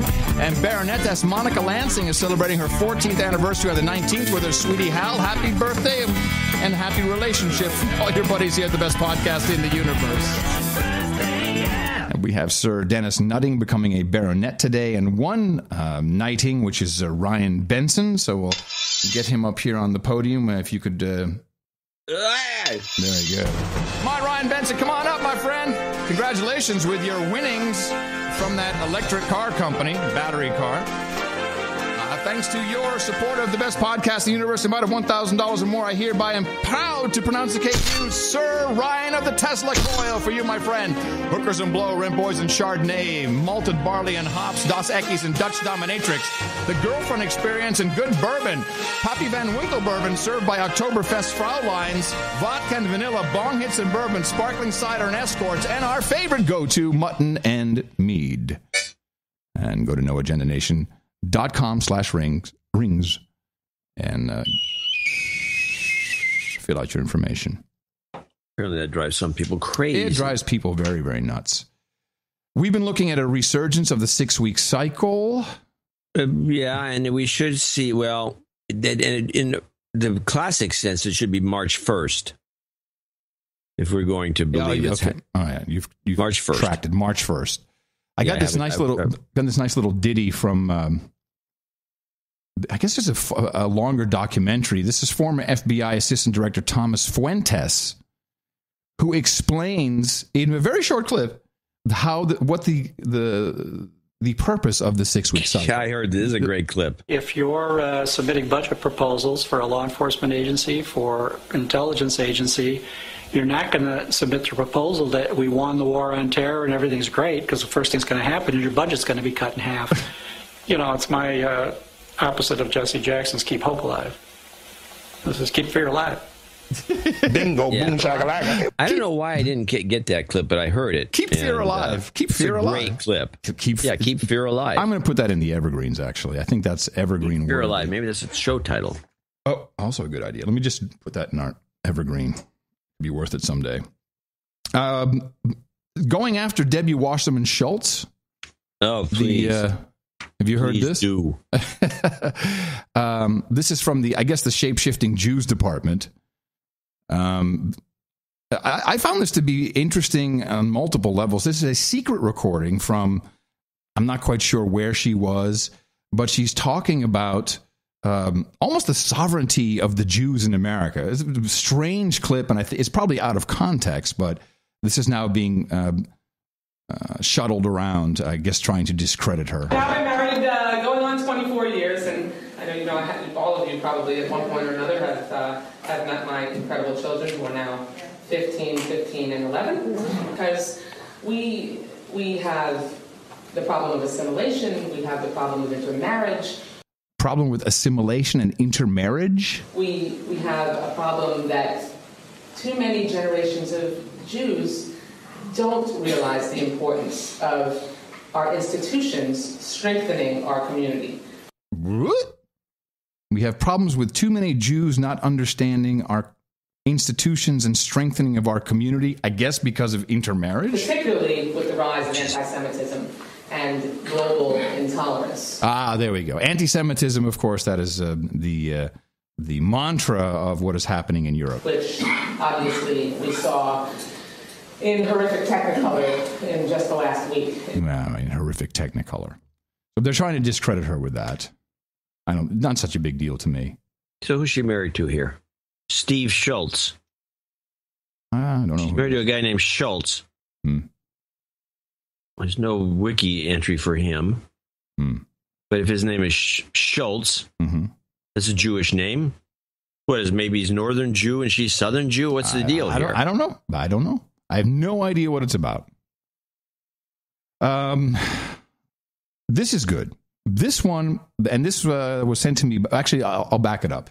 Let me go. Uh, no, I'm going to start say right here. This was uh, this is about Greece. Of course, we didn't really discuss it that much, but we know that the Syriza Party uh, caught in, and I was alerted to the Minister of Finance. Now, of course, a lot is uh, happening with, with Greece and their uh, and their finances. And I think it's now no agenda thinking to be to be looking at cabinet members ever since uh, the Ukrainian uh, finance minister was literally put in overnight, becoming a citizen with a passport. She's an American hedge fund manager, and all of a sudden she's there to manage the finances of Ukraine. Um, Yanis Varoufakis is the um, this is fantastic. He is the finance minister for Greece, the new one now. And this guy is well, he might as well just you might as well just call him an American. Uh, so he did graduate from uh, uh, Morada School in Athens, but then he went to University of Essex, University of East Anglia, University of Cambridge, University of Sydney, Lyndon B. Johnson School of Public Affairs, where he taught at the University of Texas. Uh, he is a he's the author of several books on game theory because he's also a consultant and econo- econ- economist in residence at the Valve Corporation. This is, I mean, the Valve, that's one of the biggest gaming companies there is. And he, and he continues to be a consultant to them, an economist in residence. Uh, I would call shill. Yes, or something. And he looks like a, he looks scary. He looks like a, an MMA fighter. A freaky looking guy. What's his name again? It's Yanis, Y A N I S, Varoufakis. Victor Alpha Romeo, Oscar Uniform, Foxtrot Alpha Kilo India Sierra. Um, so I'm not trusting too much. Let's see. He was appointed finance Oh yeah, minister. no, I've seen this. He's been on a lot. Yeah, he's a Yeah, commentator. he's got that smarmy kind of like, well, mm-hmm. here's what we're gonna do. First, we're gonna whack this guy, and then we'll take over his business. Doesn't he look like that? The other guy. He looks like a whacker. He does. he looks like a total whacker. I know. His political career is this. This is his political career. He was appointed finance minister by Prime Minister Alexis Tsipras in the aftermath of the Syriza victory. A self described, quote, libertarian Marxist. What? That's doable. Uh, then he says several books Game Theory. Game Theory. The hell is game theory, really? Uh, I can't summarize it for you. The global Just, uh, go to Wikipedia and you can get look up game theory, and you will find a good summary. Okay. Um, the rise of oh, the rise of Doctor Doom. Anyway, uh, just thought that was interesting to point out. They're calling him Doctor Doom. yeah. Look at his face. Come on. Yeah, I know. He's Yeah. a doom looking Doom guy. Doom looking, doomy, doomy. Looks like he's got uh, take care of himself looking guy. And just because everyone else will ignore it, I thought that this was just one of the most interesting, um, interesting pieces of video that I've seen. It's something that we uh, we used to follow quite a while ago. Another tale of the Hollywood Whackers. This is the Randy Quaid video with his wife Evi, as they are still apparently somewhere on the lam. Have you seen this? No, I, I lost track of the story. I Oh, thought my that it was all over. I thought he was back in Hollywood uh, doing uh, bit parts. No. And I shall I shall narrate a bit of this uh, video, the audio for it. Um, so we're seeing a shot of what looks like a mm, like a longer term hotel room kind of thing. Um, his wife Evi, Residence Inn. yes, his wife Evi, Evi is in the background. She's laying on the bed in a bikini, or it could be like Victoria's Secret, kind of little lingerie with dark sunglasses on. Brandy's in the foreground with a completely white beard, and uh, you know he's looking crazy. He's looking pretty crazy. Uh, reminder: uh, things went incredibly wrong with him a couple of years back, and he was on the on the run, and they were being arrested, and just a, just a crazy, crazy story. Uh, he is, of course, well known for Independence Day, and what was the other uh, big hit he had? Oh, he had a bunch of Yeah, movies. He was of them. pretty, and he was on Saturday Night Live for a long time Yeah. too. And uh, so now he's he is has been whacked by Hollywood. Hi, I'm Randy Quaid, and this is my wife Evi. I help media giants News Corp and Warner Brothers Entertainment earn well over a billion dollars for the films Independence Day and Christmas Vacation. Oh yeah. What did I get in return? A Warner Brothers exec, Bruce Berman, stole my house. It happens. And News Corp's The New York Post continues to smear me to high heaven with a pack of lies. For good measure, Warner Brothers even had my wife and I falsely arrested six times by TMZ. TMZ apparently arrested him. No, for real. Well, that's really how it works. Hashtag PMC, police media corruption. He's, he's nice. This is great. Bum. Evi and I have been put through a living hell, a living hell of biblical proportion. So, how do we retaliate? What do we do? Oh, any idea, John? Can you guess well, what he's going to first of all, I have a question. Yes. Which is that when we first did this guy story, it was about this, uh, this kind of an underground Hollywood whackers mafioso kind of thing going on in Hollywood. Mm-hmm. It wasn't up front the studios. It was some alien kind of thing to a Hollywood, ancillary. Hmm. There was a guy who killed the public relations woman, and then the, Oh, Oh, right, right. That is coming back to me. Yeah, there's a public relations woman, and there's a bunch of other these mysterious deaths. And the public relation one was particularly screwy. Ch- Chasen Yes, was her name. yes, yes, It was yes, yes, particularly yes. screwy because there was a guy on a bicycle that drove up next to her and shot her. And then that guy got whacked by the cops. And then that guy just ended up getting killed. And that was, and there was more similar kind of, this is like three, four years ago. Yeah. Similar types of scenarios. And this guy was the main player because he came out and said they were going to kill him. Right. They, and he it was, the whack- one. Yes, he was saying that they're Hollywood whackers. They whack people. Yeah. Right. Well, and so now it's the studios out to get him, and Fox and Murdoch. I mean, come on, this is this, this is not the same story. But go on. Well, I still have a few tricks too. This is the very same shirt that I wore in ID four when I saved the world. Another act that Rupert Murdoch still hasn't thanked me for. So, Rupert, you want to fuck me? I'm gonna fuck you. Evi, put this on. So he has a mask of Rupert Murdoch's head, like a cutout picture mask. Yeah. And now his wife comes forward, leans into the camera, bending over, putting the mask on. And then Quaid now backs up. He's not wearing pants. You don't. You just see his legs, and he's getting behind her. Maybe you'll thank me for this. he spits on his hand. and then he starts pretending to bang Rupert Murdoch, which is his wife with a mask. Oh, yeah.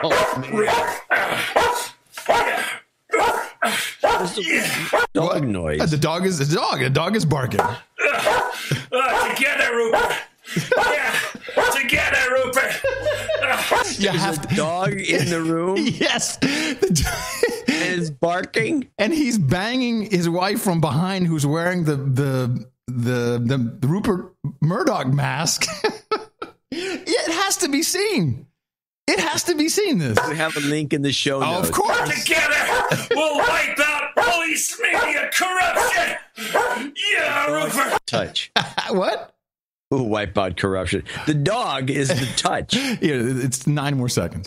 Yeah,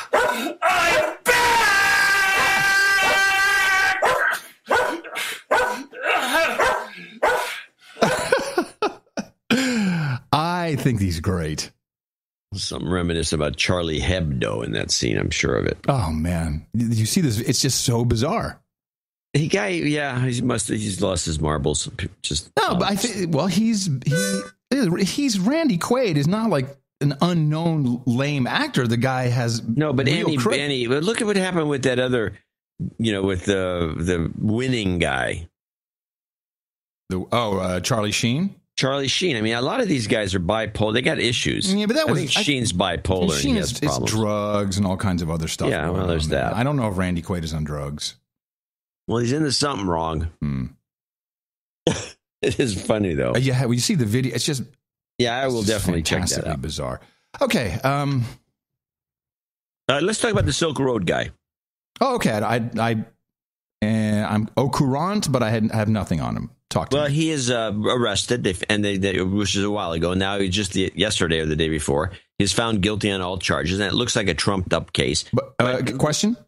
Yes. Um, uh, as far as I understand, there were no actual charges of uh, trying to kill someone. Those were not charges. Yeah, I believe that's true. Okay. All right. Good. But let's play Silk Road uh, AJ, which I think is the first of the two clips, just to catch people up. Uh, okay, hold on. That's Al Jazeera. There's an Al Jazeera report. Yes, it is. The man who ran the notorious website Silk Road has been convicted in federal court. A jury found Ross Ulbricht guilty on drug trafficking and money laundering charges. His website allowed users to buy all sorts of illegal goods, including drugs and fake IDs. Ulbricht faces up to life in prison when he is sentenced in May. Now that was followed by I think this was a, a report from one of the. uh, This was mm, I don't think it was RT. It may have been uh, France 24, but this is a little longer report from the ground and uh, discussing some of the screwiness to this case. Well, I can tell you that the jury took hardly any time at all, just three and a half hours, to find the defendant, Ross Ulbricht, guilty on all charges, seven of them ranging from drug trafficking to conspiracy to commit money laundering to a criminal enterprise kingpin charge that's usually reserved for people uh, in the mafia, for heads of mafia, a very serious charge. The prosecution, uh, in their case, laid out how they spent two years investigating the dark website known as the Silk Road, where illegal drugs were bought and sold.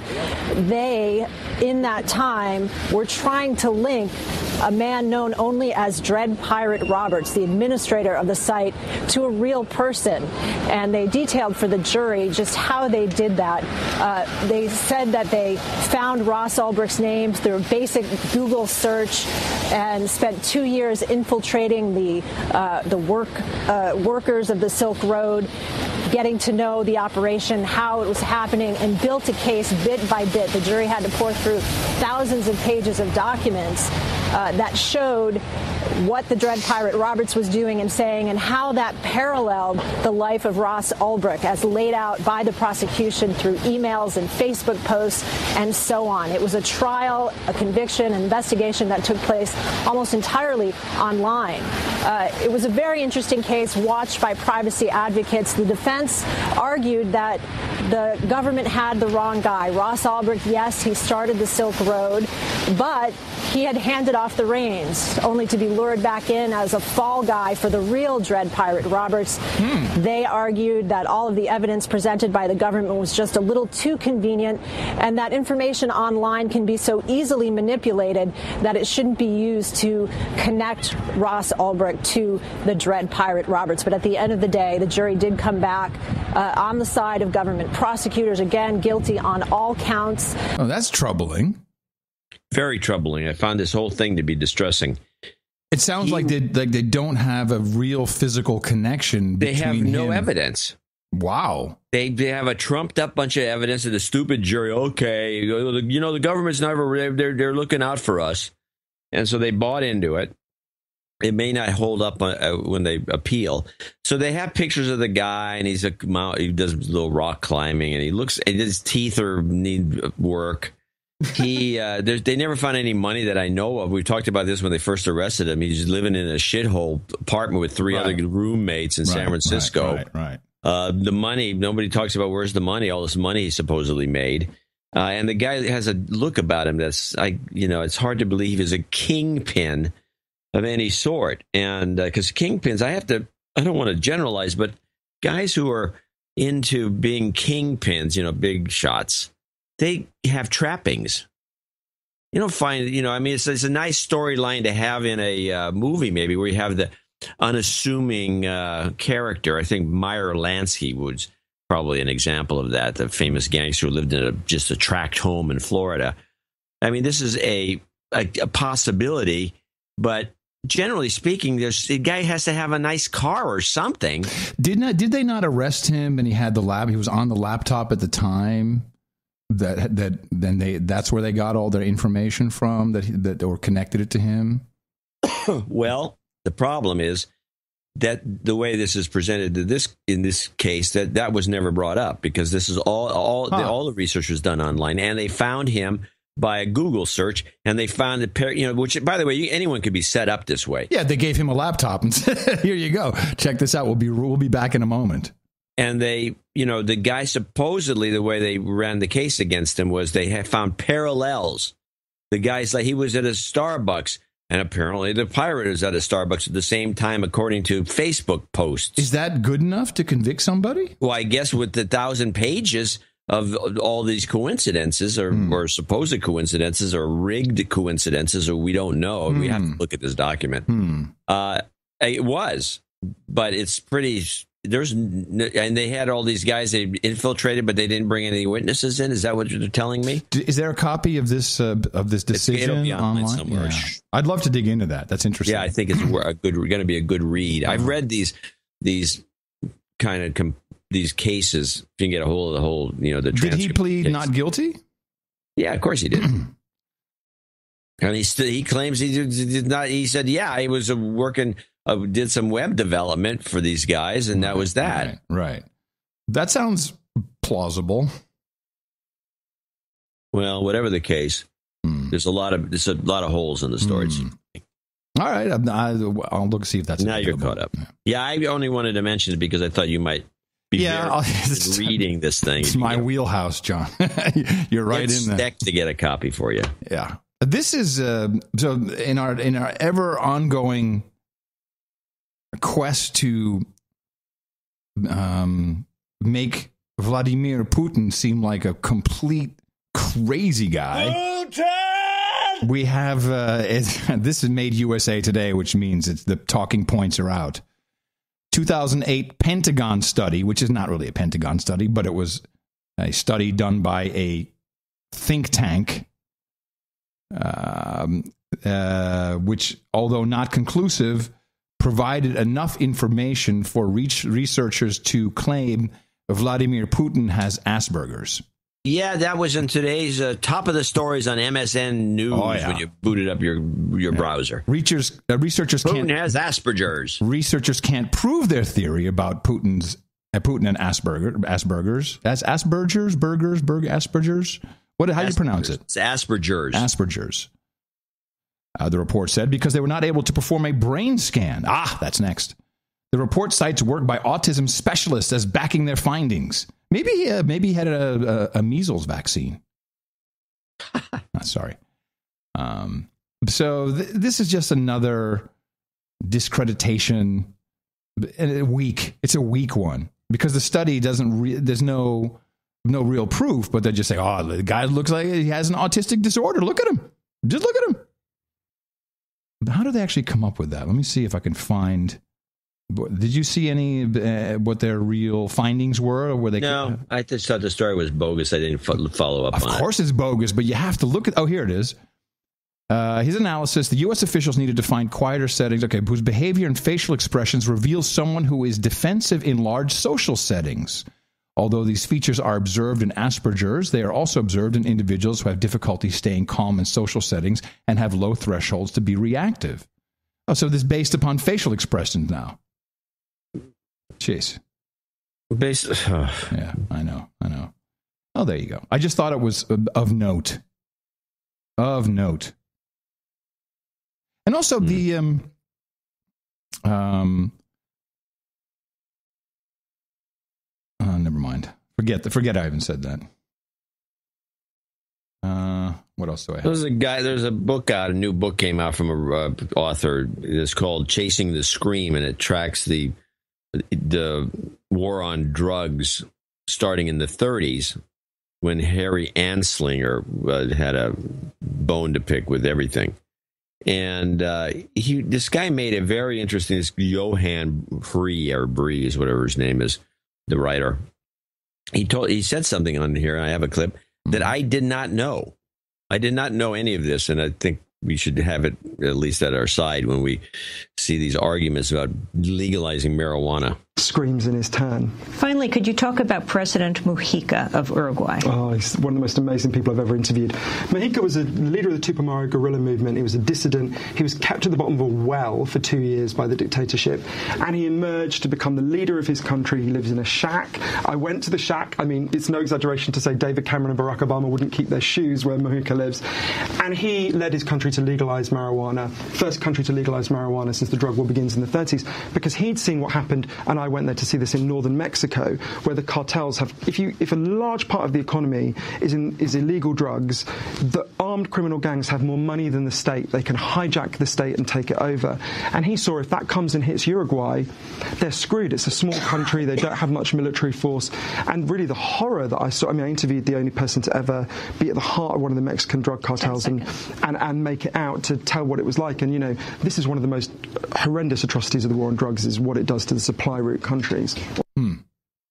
Now, I didn't know it was uh, that it was legal in Uruguay. I don't believe it's the first country that legalized. I think uh, Holland it was legal forever. No, no, no. Um, Holland has tolerance, but not legalized. Uh, uh, Portugal decriminalized. Portugal has Portugal well, they, they decriminalized. decriminalized. I guess by some some uh, logic, you could probably and say. all of, and all of that's being turned back now because of the harmonization of the EU. It's forget about it. It's all over.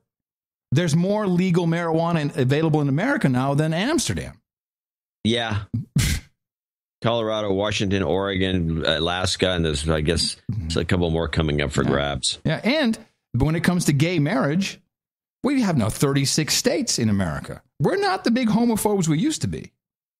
Well, anyway, I just thought it was interesting that Uruguay, and the logic was different. It was Homosexuality is such a pain in the ass. I'm sorry, I don't know where that came from. very off the wall. Um, I did I did know about the this guy in Uruguay. There's been several pieces on him living in the shack. I think that I haven't. Yeah. No, I just thought. I, I, yeah, he seems like a hmm. like an interesting, Interesting character. guy. Uruguay might be the place to go. I don't know about that. Here's an interesting. I ran into this clip. This is just an offbeat clip. It's a clip about Tanzania and this problem with witches. Oh. And there is they started. I didn't clip the whole thing because it was actually kind of gruesome. This guy's describing what happened to his sister or something. They grabbed her and beat her up and chopped her arms and legs off with machetes and then threw in a pile and burned her. Nice. Uh, because she was a witch. And I'm, I I always wonder about some of these African countries and some of the logic of the thinking that goes on into into uh, developing whatever culture they have or don't have. And this little report has a punchline that just like, oh, maybe this is part of the problem. If you tell the patients that they have been bewitched by somebody, you just create a conflict between the two. That is when killings can happen. Behind the suspicion often lies a more sinister motive greed.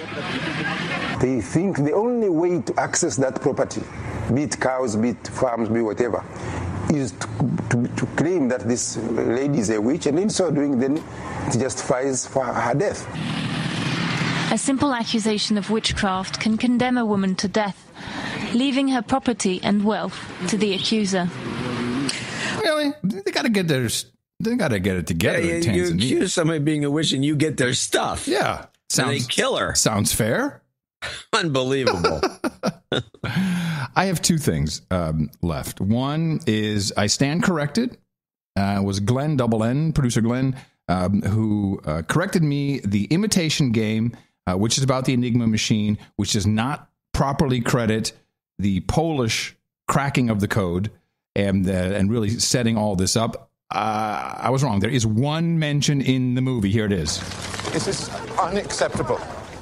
If you wish to discuss the complaint, I suggest to make a proper appointment. Alexander, complaint? No, no. Hugh Alexander has denied my requisition for parts and, and, and equipment that I need to build the machine I've designed. Your fellow code breakers are refusing to work with you, and they've filed a formal It is complaint. inspired by an old Polish code machine, only this one is infinitely more advanced. If you don't respond to the complaint, I shall have to take it up with the Home Office. There you go. That there is mention an old Polish machine. Ah, oh, those old Polish. That's about it. And then the, the second thing I have is we had uh, Tom Wheeler, chairman Oh. of the um, FCC, come out and say, okay, I'm ready to circulate my ideas. It seems uh, surprisingly very much uh, like the president's idea of shoving stuff under Title II, which we really, of course, there's nothing to read yet, nothing to see. I have two Wheeler clips. I have two Wheeler clips. Are they from uh, PBS? They might be. Because I have two from PBS. We'll see what you got. Here we go. One. You want to make sure that you've got protections in place so that consumers know that when they go to the internet, it's going to be fast, it's going to be fair, and it's going to be open. And at the same point in time, you want to do it in a way that's not going to constrain investment. Because obviously, we want people, companies, to be building faster and more ubiquitous broadband networks. So it's been a balance of both of those. Uh, the general consensus that I saw amongst the tech uh, press and media was great, fantastic, finally something good. This is going to be awesome. And it's not going to be awesome, people, because this is going to bring in regulation which restricts content that may flow if it is based on law, as in unlawful content or unlawful network traffic. This will be the wording in the legislation. Clip number two. We're really not doing utility regulation. Not really, except we're putting it under Title II, which is utility, regulation. here. Utility regulation it was developed for a monopoly model. What we're doing is we're taking the legal construct that once was used for phone companies and paring it back to modernize it so it specifically deals with this issue. So it's not really utility regulation, but it is regulation to make sure that there is somebody watching out for the consumer, that, like you said, there's no paid prioritization, there's no blocking, there's no throttling. No blocking. Uh, pay attention. Uh, that would be only of legal and lawful content. And most important, there will be ongoing rules in perpetuity. What?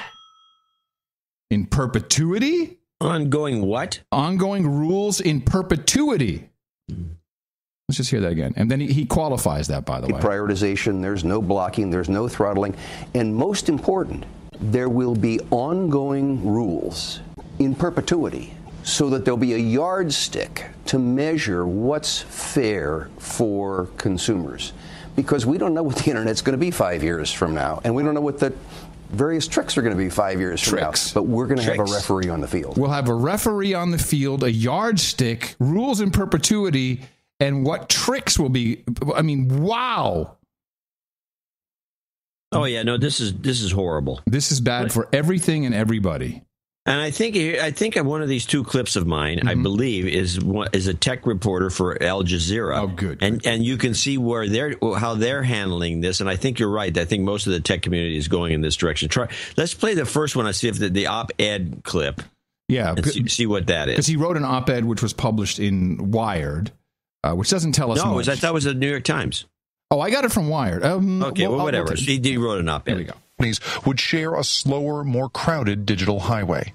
That segregation, critics say, would kill the free and open internet as we know it. What Wheeler is proposing is a plan that regulates internet service the same way the government regulates phone service or, well, the highways. In an op-ed, Wheeler wrote, The proposal I present to the Commission will ensure the internet remains open now and in the future for all Americans.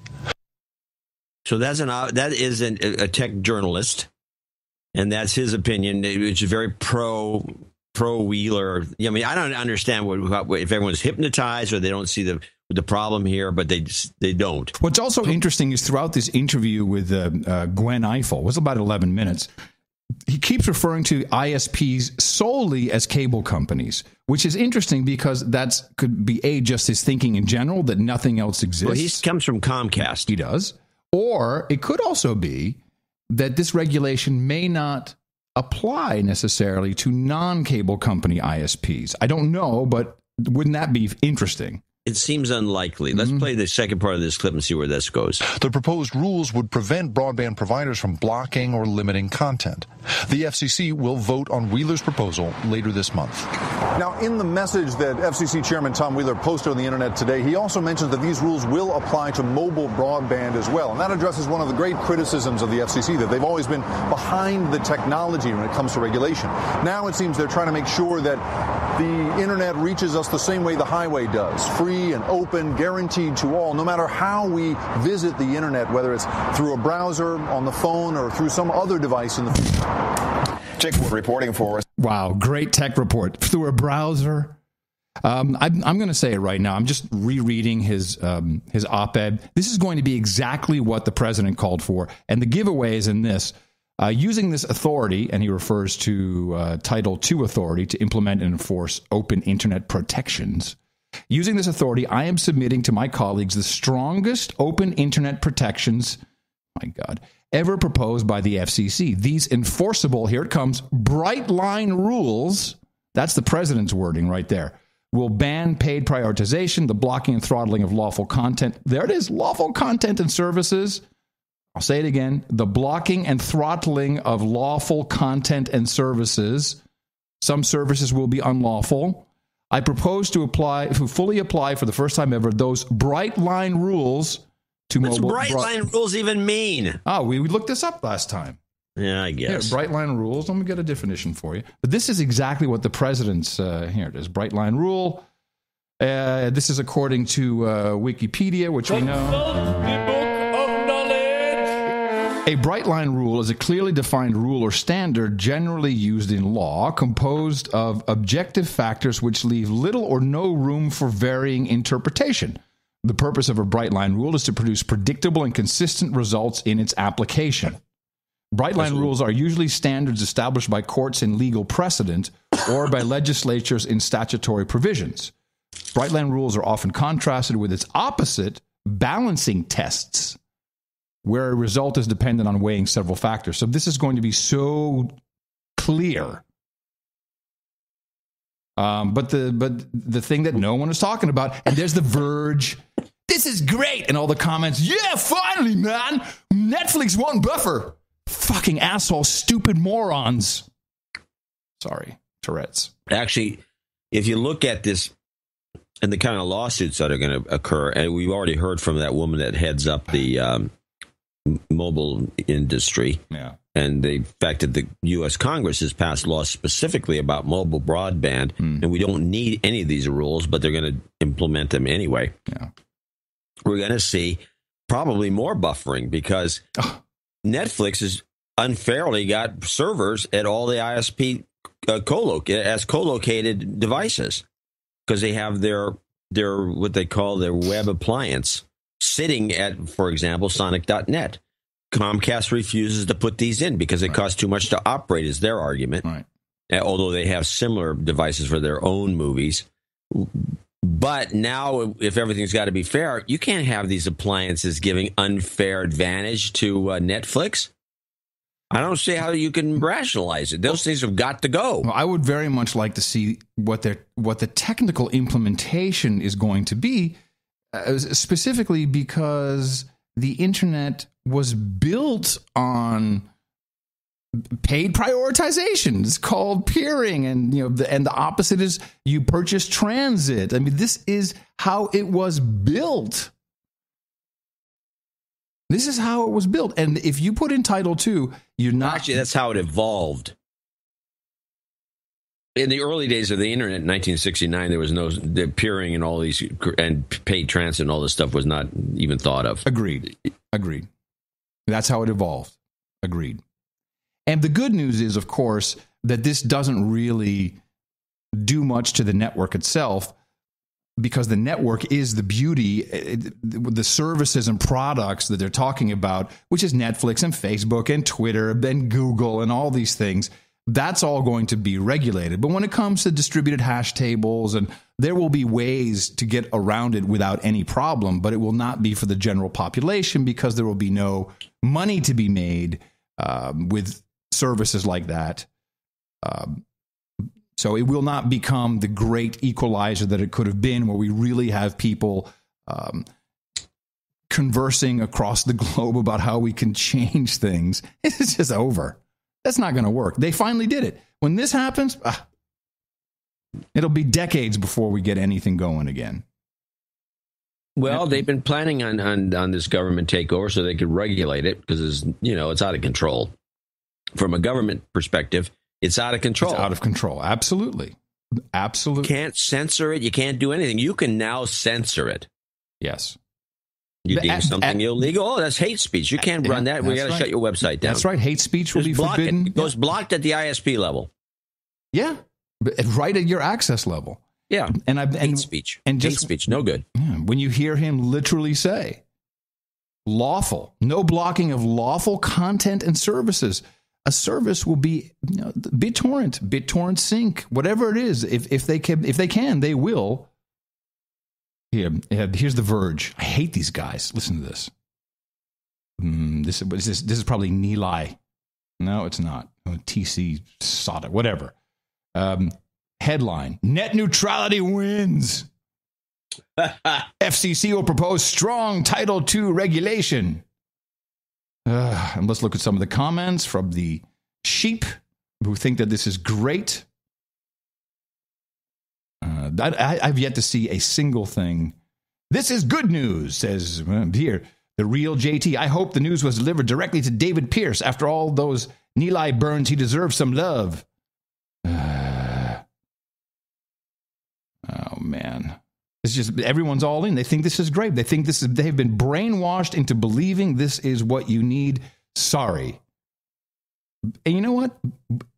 There will be a day, and and I'm, I hope we're still alive, and someone will say, you know, damn, Dvorak and Curry were right. This sucks. this su- it's kind of like it, I don't think it'll take that long before people realize that this isn't going to work. And it's going to be too late because he said himself in, per- perpetuity. perpetuity. Once these thing, once the government gets its camel head into the tent, hmm. you're screwed. Yeah. Yes. We've done everything we can. And curiously, all these same guys are all into this net neutrality bogus argument. And now it was just switched over to this newer sounding argument, the independence or the free, free and open, open internet. whatever that means. All these guys were the same guys when this whole thing began. Oh God, keep the government away from this because this thing is this is great. It's, too good. evolving all Mhm. these things without the government. Mhm. No, we don't want the government. We don't want the government. The government, and now the same people say, "Oh, we need net neutrality," but even it's not really an issue. Less than 10 minutes to go. Okay? I think we should actually end now. yeah. Uh, uh, let's see. The only other thing. Mm, no. Stuff, I got stuff for Sunday. Keep some stuff over. Uh, I got the aviation news. We have to talk about a couple things that have been happening. Yeah, let's talk about that in, in next Yeah, Sunday. yeah. Um, also, some uh, more poppy stand drug news. I might have some tech news we could look at. Oh yeah, oh yeah. I'm I, I'm going to deconstruct Singularity University for you. Oh, Yeah. fun. Yeah, these guys need some deconstruction. They're getting very, very annoying. Deconstruction or a takedown. I don't know if I can take anybody down by myself. Well, that's probably true. But uh, I can, uh, I can certainly, certainly give it a try. Thank you all.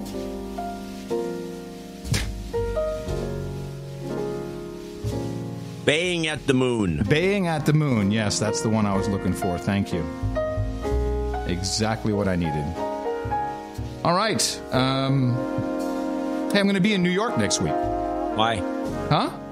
Why? Why? Because I can. Well, still. Yeah, because I can. Just to go float around, no real purpose? Eh, a buddy of mine's there. I'm going to hang out a bit. No. Yeah. I mean, not, not- no purpose. I'm going to get some news from New York. Yeah. Yeah, we could get something good. You never know. Possible.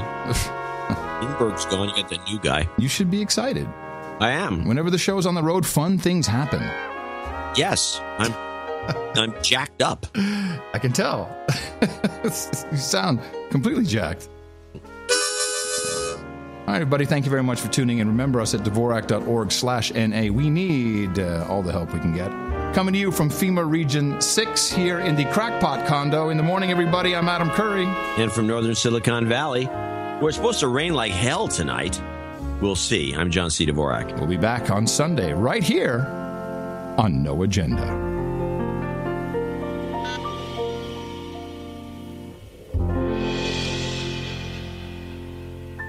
It was worth it. It was worth it. Everyone's crazy about a dude named Ben. Will help chart a path forward.